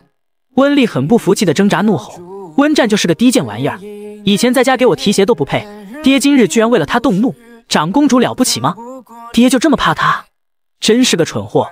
温行云脸色越来越沉，不耐烦的命人堵上他的嘴，拖下去。马车里，温战着实诧异于楚清皇的雷霆手段。殿下真要去抄户部尚书的家？若是为了我，此事是不是有点小题大做了？不必自作多情。楚清皇坐着翻看兵书，声音淡漠沉着。抄户部尚书的家早就在本宫计划之内，原本打算明日一早去，不过今晚提前了而已。闻言，温战有些尴尬，摸了摸脸颊，心想。原来不是因为冲冠一怒为蓝颜，还真是自己自作多情了。沉默一瞬后又开口：“可殿下今晚的行为会让人以为就是因为我才报复洪家，殿下不担心被人误会？”楚清皇放下兵书，抬头看向他，打算扒了他这朵白莲花。你担心误会？那你今晚是为什么挨的那几个耳光？温战脸眸琢磨着楚清皇的意思，还是接着演吧。谨慎的回答我：“手无缚鸡之力。”楚清皇目光在温战脸上一掠而过。淡漠地说：“本宫不喜欢听人撒谎，被拆穿了小心机。”温瞻跪了下来，如实回答：“我倒也不算手无缚鸡之力，三脚猫功夫比不上殿下，但也能自保。今晚只是给殿下制造一个发落温家的机会。殿下的弑君在温家挨了打，就是温家冒犯了您，这把柄可大可小，殿下可以利用。而且几个耳光换温丽挨顿打，我觉得很值。”他想到楚青皇说明日会派人去验伤。不管明天是否真的派人去，温行云都绝不敢冒着得罪楚青皇的风险对温丽放水，所以温家嫡子今晚注定不会好过。对比下来，几个耳光算得了什么？想想就开心。原本计划是明日一早前往尚书府抄家，温家一行让楚青皇决定今夜带着三千禁军包围尚书府。此时马车里，楚青皇平静地看着温战：“你也是个狡猾的，连本宫都敢算计利用。”温战恭敬地低头请罪。愿受殿下责罚。楚青皇先连看了一眼外面，语气平静淡漠说：“今晚算计本宫的不止你一个。今晚本宫在温家遇到了刺杀，对方出动的是死士，想要置本宫于死地，手段极为狠辣歹毒。”温战一惊，猛地抬头：“如果本宫今晚在温家出了事，那么首当其冲会被牵连的人绝对是你的父亲。幕后主使之人是想一箭双雕，如此歹毒，本宫除掉户部尚书，也只是折了对方一条手臂而已。”温战安静的琢磨利害关系，想到户部尚书支持的是凤贵妃和三皇子，楚青皇说折对方一条手臂，这言下之意就是说刺杀长公主的行动是三皇子所指使。楚青皇看了他一眼，让他起来，垂下眸子，继续看着自己手里的兵书。马车很快抵达公主府，三千禁卫在接到福仓的传令之后已经集合。楚青皇又吩咐福仓去本宫的书房，把所有证据以及本宫的金册令符拿上，即刻行动。楚青皇换了身衣服，翻身上马，清冷的声音在夜里流露出沉肃与威压。去尚书府。不一会儿，尚书府内正在用晚膳的洪尚书和洪月听到下人哆哆嗦嗦的禀报：长公主带人抄家，禁卫已经包围了尚书府。洪月惊得筷子都掉了。他一直以为楚青皇在温府只是吓唬他，他们家族背靠太后、凤贵妃和三皇子。楚青皇绝对是不敢的呀！没有想到楚青皇居然真的来抄家了，真是个疯子！尚书府大门外，乌压压的禁卫排排站立。楚青皇毫不犹豫，一声令下行动。户部尚书洪承海掌管钱财肥的刘游，更是仗着与太后有姻亲，行事嚣张跋扈。大晚上得知楚青皇带着禁卫军来抄他家，又惊又怒的传令集合护卫，沉着脸走出来，一眼就看到了最前面端坐在马上的楚青皇。忍着怒气说道：“长公主殿下，你这是干什么？”福仓闪身而来，宣读皇帝册封长公主行抄家之权的圣旨。楚青皇在居高临下看着洪承海，平静冷漠：“本宫奉命抄家，洪尚书若是胆敢阻拦本宫办案，就是抗旨。”也懒得再与他多言，抬手一挥，动手。一时之间，尚书府所有护卫齐齐集结在宽阔的门前，手持刀剑，形成阻拦对峙之势。洪尚书躲在护卫身后。大有一股誓死不让的气势。就在这时，一阵马蹄声疾驰而来，为首的三皇子气急败坏的开口：“七妹，住手！你想干什么？大晚上的，你带这么多禁卫过来，得到父皇的谕旨批准了吗？”洪尚书见三皇子及时赶到，立马松了口气。只是很快他就会发现，这口气松得太早了。楚青皇冰冷地看了一眼三皇子：“本宫接到密报，洪尚书贪赃枉法，利用职权之便谋取不当之财，按罪当诛。”有三皇子这个靠山在，洪尚书也有了底气，居然指着楚青皇大声反驳，一派胡言！我为官多年，一向正直无私，岂容你红口白牙随意污蔑？兵马对峙，长公主难道想血洗我尚书府？三皇子的出现让户部尚书更加晕头转向，死到临头还不自知，盲目依靠着背后势力，却忽略眼前的长公主是个我行我素、性情暴戾的人，根本不吃他这一套威胁。楚青皇无视了洪尚书的咆哮。目光冰冷看着守门护卫，本宫奉旨抄没尚书府，谁敢阻拦，形同抗旨。主动放下兵器者，本宫可饶其性命。三皇子也急了，户部可是他的钱财来源，一旦被查抄，对他夺嫡很不利。怒喝护卫拦住，胆敢放下兵器叛主者，本王饶不了你们。楚青皇冷冷扫了他一眼，二话不说，直接挥起鞭子抽在三皇子的马蹄上。骏马吃痛，扬起马蹄。一阵慌乱间，将三皇子摔下马，重重的砸在地上。楚青皇冰冷霸气的声音再次响起：“顽抗者与洪家一同论罪，情节严重者诛灭三族。”看着形势越来越不妙，洪尚书气急败坏，大吼：“长公主欺人太甚！”楚青皇却无动于衷，只说了一句：“阻拦者格杀勿论。”尚书府护卫们面面相觑，面上皆浮现犹疑。若是在寻常时候，他们定会遵从三皇子和尚书大人的命令行事。可今晚带兵来抄家的人是刚被皇上册封为长公主的七公主，那可是个冷煞无情的主，而且奉旨抄家。护卫们不再犹豫，立即扔掉手中的兵器，扑通一声跪了下来。圣上旨意不可违，求公主殿下饶了卑职的家人。他们自己死不足惜，但绝不愿意牵连家人。三皇子气急败坏的怒吼：“谁让你们放下兵器的？想死吗？叛主之人都是会被凌迟处死的。不管三皇子饶得了饶不了，都阻止不了禁卫抄家的气势。一窝蜂涌进了尚书府。楚清皇抄家态度坚决，看着禁军入了尚书府，三皇子下意识搬出驸马凤锦之来牵绊楚青皇。片刻之前还一脸怒火的三皇子，这会儿只剩下焦灼和气急败坏，连语气都软了三分。七妹，你到底怎么了？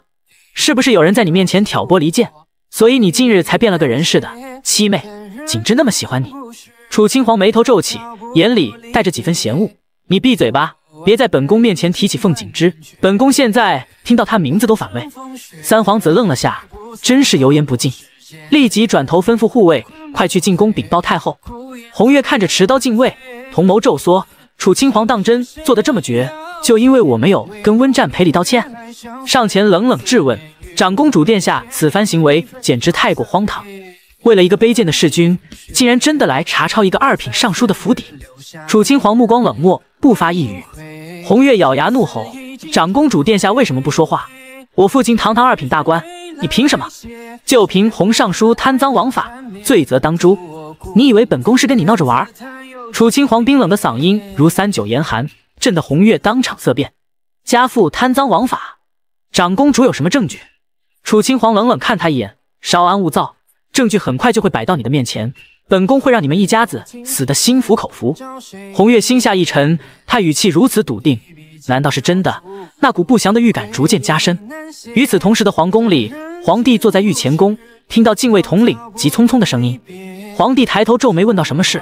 这么慌慌张张的？”禁军统领跪在地上禀报：“陛下，长公主殿下带着三千禁卫包围了户部尚书府。三皇子前去极力阻拦，但无济于事。长公主殿下谁的话都不听，一意孤行要抄户部尚书的府邸。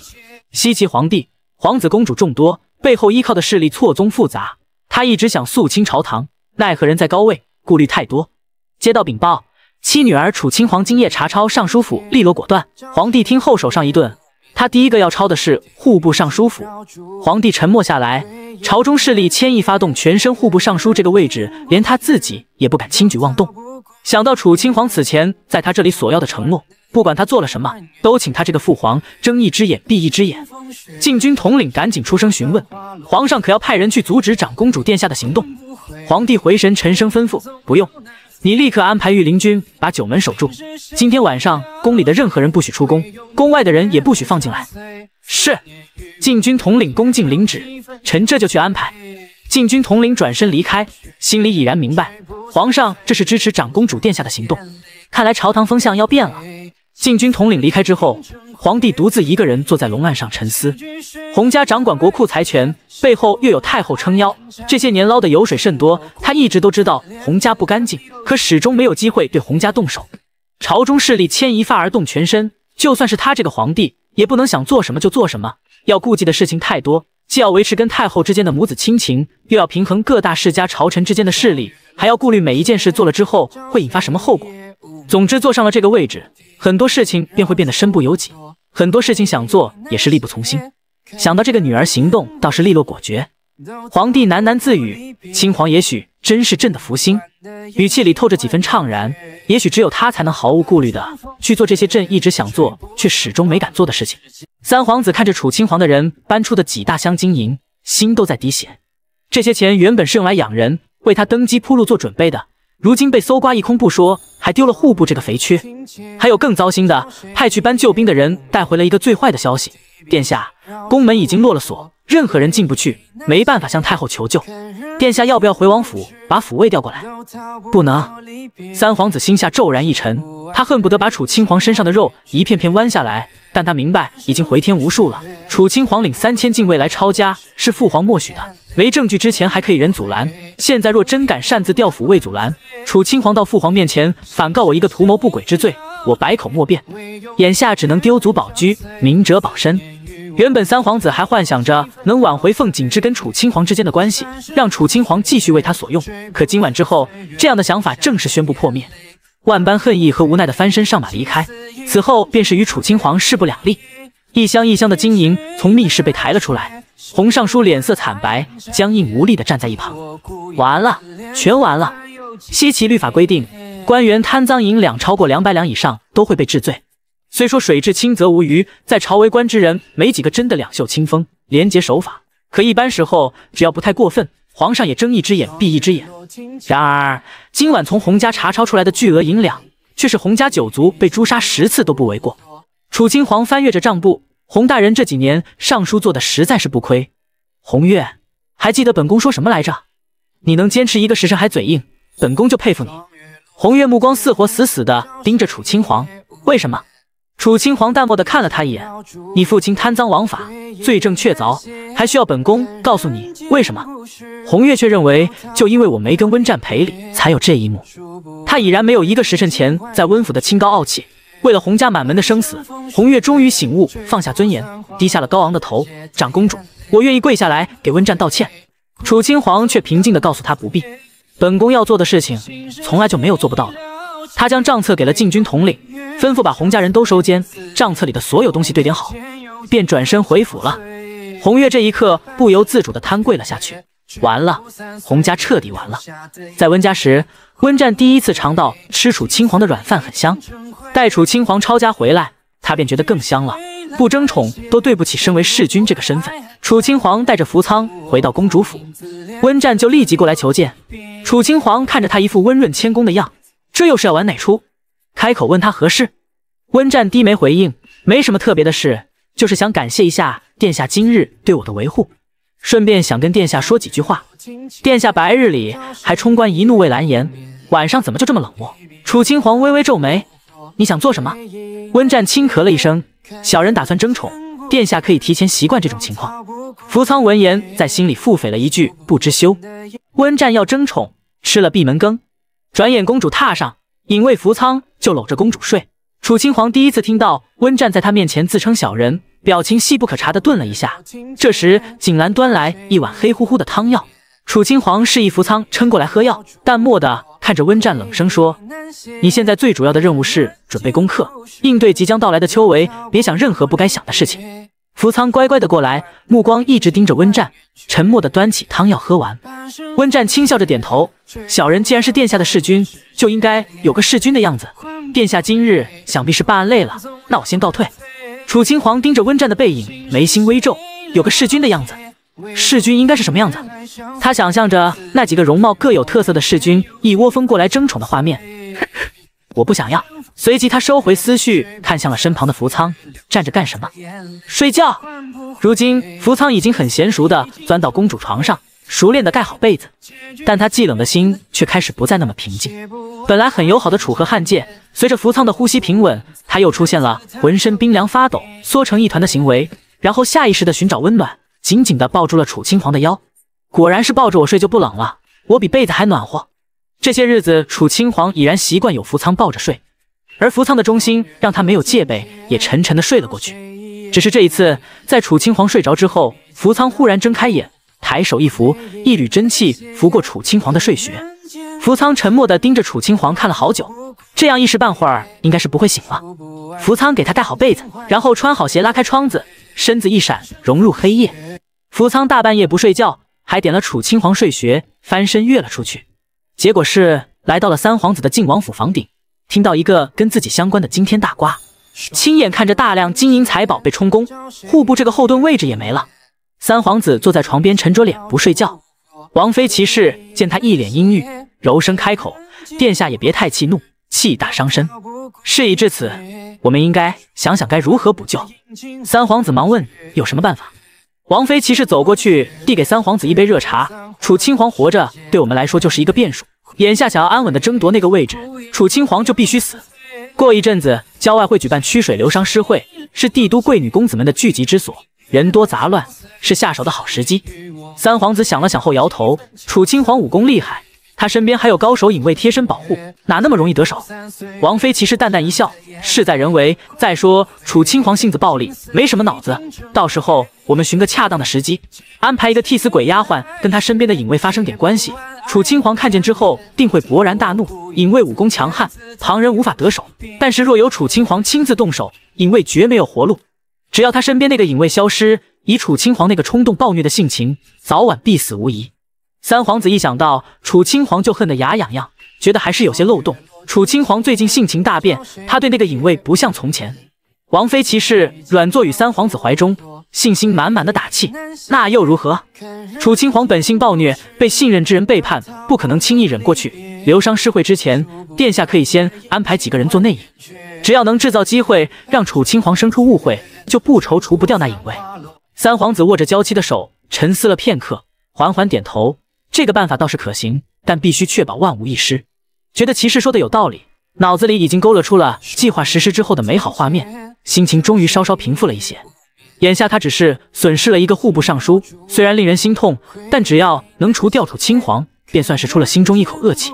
有太后和丞相府在，他在众皇子中依然不会落于下风。说到内应，三皇子想了片刻，长公主府的麒麟不是你叔兄吗？你可以让他帮忙。王妃骑士听到麒麟的名字，眼里划过一抹厌恶。他不过是个卑贱的庶子，能帮什么忙？王爷知道我跟他素无往来，就别为难妾身了。三皇子温柔一笑，没关系，你不愿跟他来往，本王不勉强。横竖可以利用的人很多，不差他一个。王妃骑士温柔一笑，妾身跟殿下是夫妻关系，自然事事为殿下考虑周全。只是麒麟实在是个上不得台面的人，不但出身低贱。如今更是以色示人，简直丢尽了男人的脸面。妾身不愿意与他来往，也是为了王爷的名声考虑。他这句话说的冠冕堂皇，好像早已忘了是他自己亲手把麒麟送入公主府的。三皇子嗯了一声，都说娶妻娶贤，等来日本王登基，你也当得起那母仪天下的皇后。王妃骑士抿唇一笑，心里也憧憬着那一日的到来，面上不由越发温柔贤惠。不早了。妾身服侍殿下就寝吧。三皇子躺了下来，心思却还没停。其实这性子也算不得贤惠，但有几分小聪明，偶尔能帮他出谋划策。最重要的是家世不错，他的父亲是镇北王，手握兵权，镇守一方。这桩婚事当初还是太后给他撮合的，为的就是让他拥有更有力的筹码。可三皇子心里却清楚，藩王势力过大，早晚得除掉。所以，就算以后登基为帝，骑士也不可能是皇后。今日变故颇多，他颇感疲惫，不知不觉就睡着了。房顶上的福仓面无表情盖上房瓦，也忙活了起来。一个时辰之后，福仓回到公主府，听寝殿里没什么动静，他动作极轻的拉开窗户，无声无息，如一阵风般闪身入内。反手关窗时，却忽然听到一声清冷的询问：“深更半夜的去哪儿了？”福仓身体一顿，他没想到自己的点穴术居然会失效。立即回身跪倒在床前，属下该死，属下去晋王府做了件事，未得主子允许，擅自离开主子身边，还以下犯上冒犯主子，属下该死。楚清皇靠在床沿，眉眼淡漠的看着福仓，瞅着他这副恭敬温顺的态度，微微沉吟。作为贴身隐卫，他今晚擅自离开的举动只是失职，然而胆敢点主子睡穴的行为却是大逆不道，按规矩该受酷刑处罚。楚清皇想想算了，这人也没过几天好日子，可一点不处罚也是不行的，便说：“既然不想睡，就在这里跪着吧。”说完，他重新在床上躺了下来。福仓抬眸看了他一眼，随即垂下眸子，沉默如影子般安静的跪着，在心里嘀咕：今晚犯了这么大的错，居然只是罚跪。若是在以往，不打得他皮开肉绽、奄奄一息，惩罚都不会停止。殿下真的比以前温柔了太多。楚清皇听着福仓心声，眉眼微动，温柔，都被罚跪了，居然还觉得他温柔？好吧，他以前的日子过得太过悲惨了，才有这样的想法。楚清皇突然觉得让福仓跪着都有些不忍，于是也不为难自己，遵从本心，自己往里面挪了挪，说到跪半个时辰，然后睡觉。突然想起还没问福仓去晋王府做什么，不过想来大概是去报复楚天印那天刺杀自己的事吧。算了，也没什么大不了的，睡觉。美艳公主贴身隐卫福仓，未得公主命令，擅自出门搞事情，还大胆的点了公主睡穴，此等行为本该处以酷刑，或者直接处死。然楚清皇却只是罚扶仓跪半个时辰，这样的大转折变化，扶仓的眼睛越来越亮，心口的位置越来越暖。跪半个时辰对于隐卫来说不难熬，跟平时独自藏身在角落里没什么区别。扶仓谨记命令，暗自计算着时间。半个时辰之后，他站了起来，换了身干净衣服，在床边静静看着楚清皇。而楚清皇闭着眼，像是已经熟睡了。睡着的殿下肌肤瓷白无瑕，越发明艳动人。扶仓垂下眼眸，站在榻前思忖着：我还要在殿下床上睡吗？还是去外面榻上睡？楚清皇突然一个翻身，空出了扶仓能睡的位置。扶仓心头一动，下了决定，轻手轻脚的在楚清皇身边躺了下来。殿下说过让我睡这里，依然是双手搁在腹部，标准乖巧的睡姿。只是睡着睡着就忍不住朝温暖之处挪了过来，大手搭上了楚青皇的腰上，随后整个人也扑了过来，环抱着细腰，嗅着熟悉的让他安心的气息，陷入沉睡。楚青皇却蓦地睁开眼睛，他没有丝毫动作，这样的感觉好像也不赖，很暖和。他轻轻一笑，闭上眼睛继续睡。这一夜过得很快。一早，扶仓低眉垂眼，服侍着楚清皇起身洗漱更衣，准备上朝。锦兰这时过来禀报：“殿下，靖王把王妃杀了。”楚清皇下意识地转头看向身侧的扶仓，扶仓低眉垂眼，脸上没有任何表情波动。楚清皇收回视线，看向锦兰：“到底怎么回事？”锦兰压低了声音回应：“听说靖王昨晚是和王妃一起睡的，今日起身之后，王妃却不在身边。”靖王心头生疑，起身没多久就发现王妃与人私通，震怒之下拔剑把王妃和那个男的都杀了。楚清皇不由得同情三皇子一秒，昨晚被斩去了户部尚书这条手臂，今早发现被戴了绿帽子，短短一夜就发生了两次巨大变故，不知道靖王的心脏能不能承受得了这么大的刺激。楚清皇表示知道了，让景兰退了下去，才问扶仓是你做的？扶仓如实回道：靖王妃其氏是镇北王的女儿。他跟楚天印是一丘之貉，楚天印杀了自己的王妃，镇北王不会放过他。楚清皇摸摸扶苍头，你脑子不笨，可不是吗？原本三皇子想让楚清皇在温家被刺杀，嫁祸给温行云，一箭双雕，扶苍就还他一个一箭双雕。如今三皇子不但会成为皇城笑柄，被皇帝问罪，还会跟镇北王反目成仇，从此失去镇北王这个掌兵权的靠山。这一招兵不血刃，着实厉害。扶仓沉默不语，跟在身侧。楚清皇没再去想晋王府的事情，准备一番去上早朝。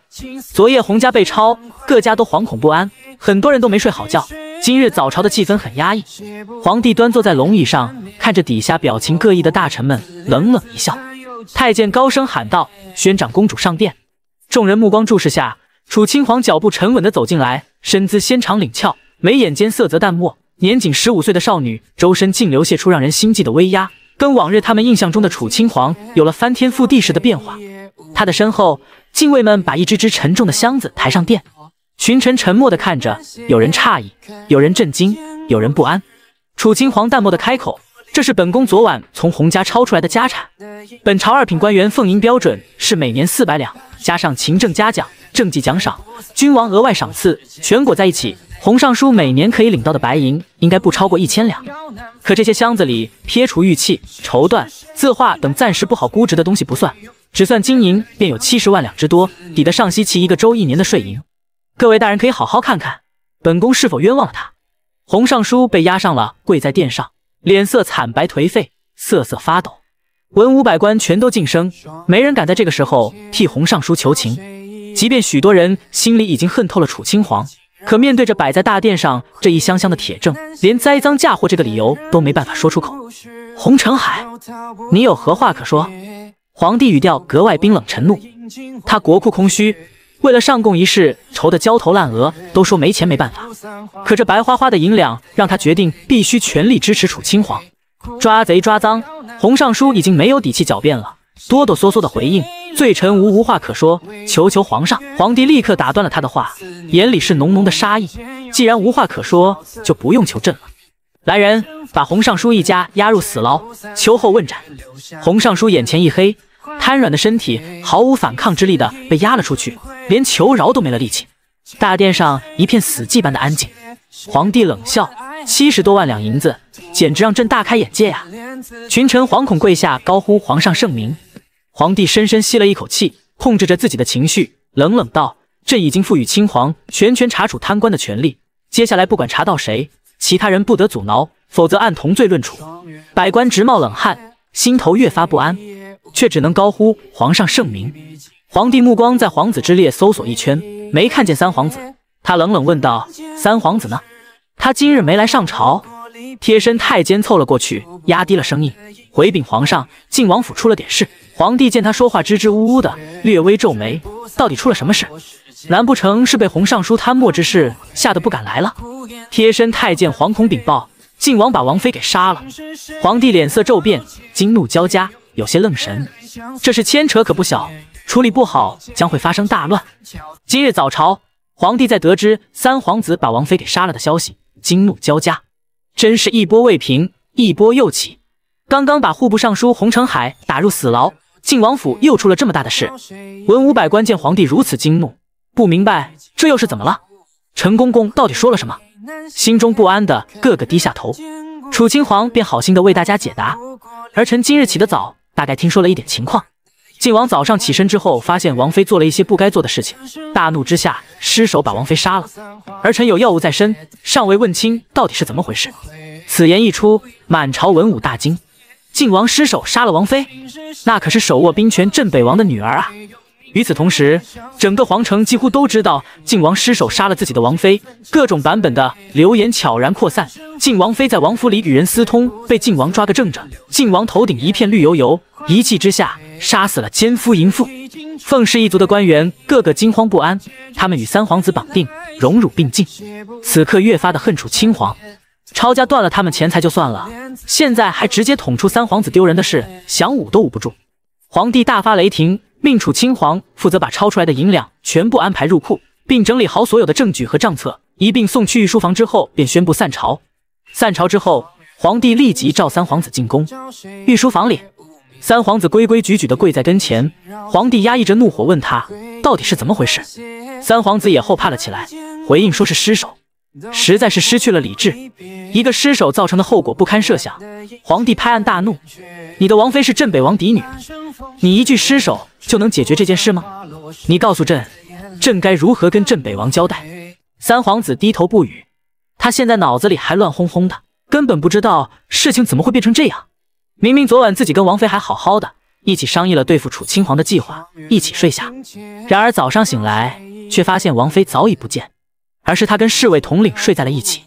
那画面不堪入目，一瞬间愤怒冲昏了头脑，根本无心去思考这件事是否合理，后果是什么，提剑就把两个人一起杀了。鲜血溅到脸上，浑浑噩噩呆站了一会儿，才慢慢反应的过来这样做的后果，即即命人去宣太医。可王妃骑士被一剑贯穿心脉，气息全无，一切都已经无法挽回了。这边楚青皇已经办好了事务，等着陈公公禀报进去交差。听着里面传来的怒吼声，看向福仓，微微一笑。有了福仓这么聪明、这么能干的人帮助，他的大业应该会提前完成。这时陈公公笑眯眯的出来：“长公主殿下，陛下请您进去。”楚青皇跨进御书房的门槛。看也没看一旁跪着的三皇子，径自走到龙案前，恭敬的把整理好的账册名单给了皇帝。父皇，所有财物都已清点完毕，户部尚书所有的罪证和跟户部有牵扯的官员名单，儿臣已经整理好，都在这里。儿子很糟心不争气，但这女儿办事确实干净利落。皇帝此刻终于能展颜一笑，随意翻了翻，亲皇，你这件事办得实在是漂亮，朕都不知道该如何赏你。对了，户部尚书职位空缺。你有没有合适的人选举荐上来？楚清皇一副淡然回应：“奖赏之前已经给过了，这算是额外的加赏。”皇帝轻笑着：“是啊，奖赏他已经提前给过了，破例给了他长公主的封号和特权，暗格暂时也归他掌管。他现在只是在做他承诺过的事。”可皇帝还是高兴，虽然三皇子闹出了这么大的事情，让他高兴的情绪打了折扣，不过总的来说，户部尚书府的破灭算是一个好的开端，以后西岐的风气会越来越好。他值得长公主之位和暗格。皇帝想到这里，笑容又多了几分，说道：“不算，只是你要有合适的人选，朕可以参考一下。”楚亲皇点点头，儿臣最近挺喜欢温战的。谁？皇帝听着这个名字很耳生，想不起和哪位官员有关。楚亲皇微微一笑，他的父亲是户部侍郎温行云。父皇若是没有合适的人选，可以提他。皇帝沉默，仔细想了想，温战好像是温行云的庶子。因长得不错，被亲皇强行纳进了府里。所以现在的身份是亲皇的侍君之一。以前他喜欢凤锦之时，便一心只想着凤家和三皇子，甚至不顾生母端妃那边的母族。如今凤锦之失了宠，他开始喜欢温战，又要开始提拔扶持温家了。温家根基尚浅，两年之内不担心他不红尚书后尘。如果以后也撑大了胃口，到时候处置了就是。皇帝轻咳了一声，亲皇就让温行云顶替尚书之位吧，他的资质也够了。三皇子跪在一旁，听着皇帝和楚亲皇的对话，心头愤怒到了极点。楚亲皇，若不是你，户部尚书府根本不会倒台。为了一个弑君温战而扶持温行云，荒唐！他明明是为了端妃一党的势力，谁不知道温家是端妃一党的人？三皇子心里的腹诽，楚清皇听了个一清二白。楚清皇看着皇帝，平静开口：“父皇，还有件事，昨晚儿臣陪温战去温家给他父亲祝寿，在温家遇到了刺客。”三皇子心头一紧，他是知道了什么吗？害怕楚清皇知道是他主使的，如今他已经腹背受敌，再来一下根本扛不住。皇帝一听遇上了刺客，忙问楚亲皇有没有受伤。刺客是谁派去的？查到了没有？楚亲皇笑了笑，儿臣大概是能猜出是谁。父皇不用担心。漫不经心转头看了眼三皇子，想要儿臣的命没那么容易。三皇子不禁心头一紧，楚亲皇这句话好像是说给我听的。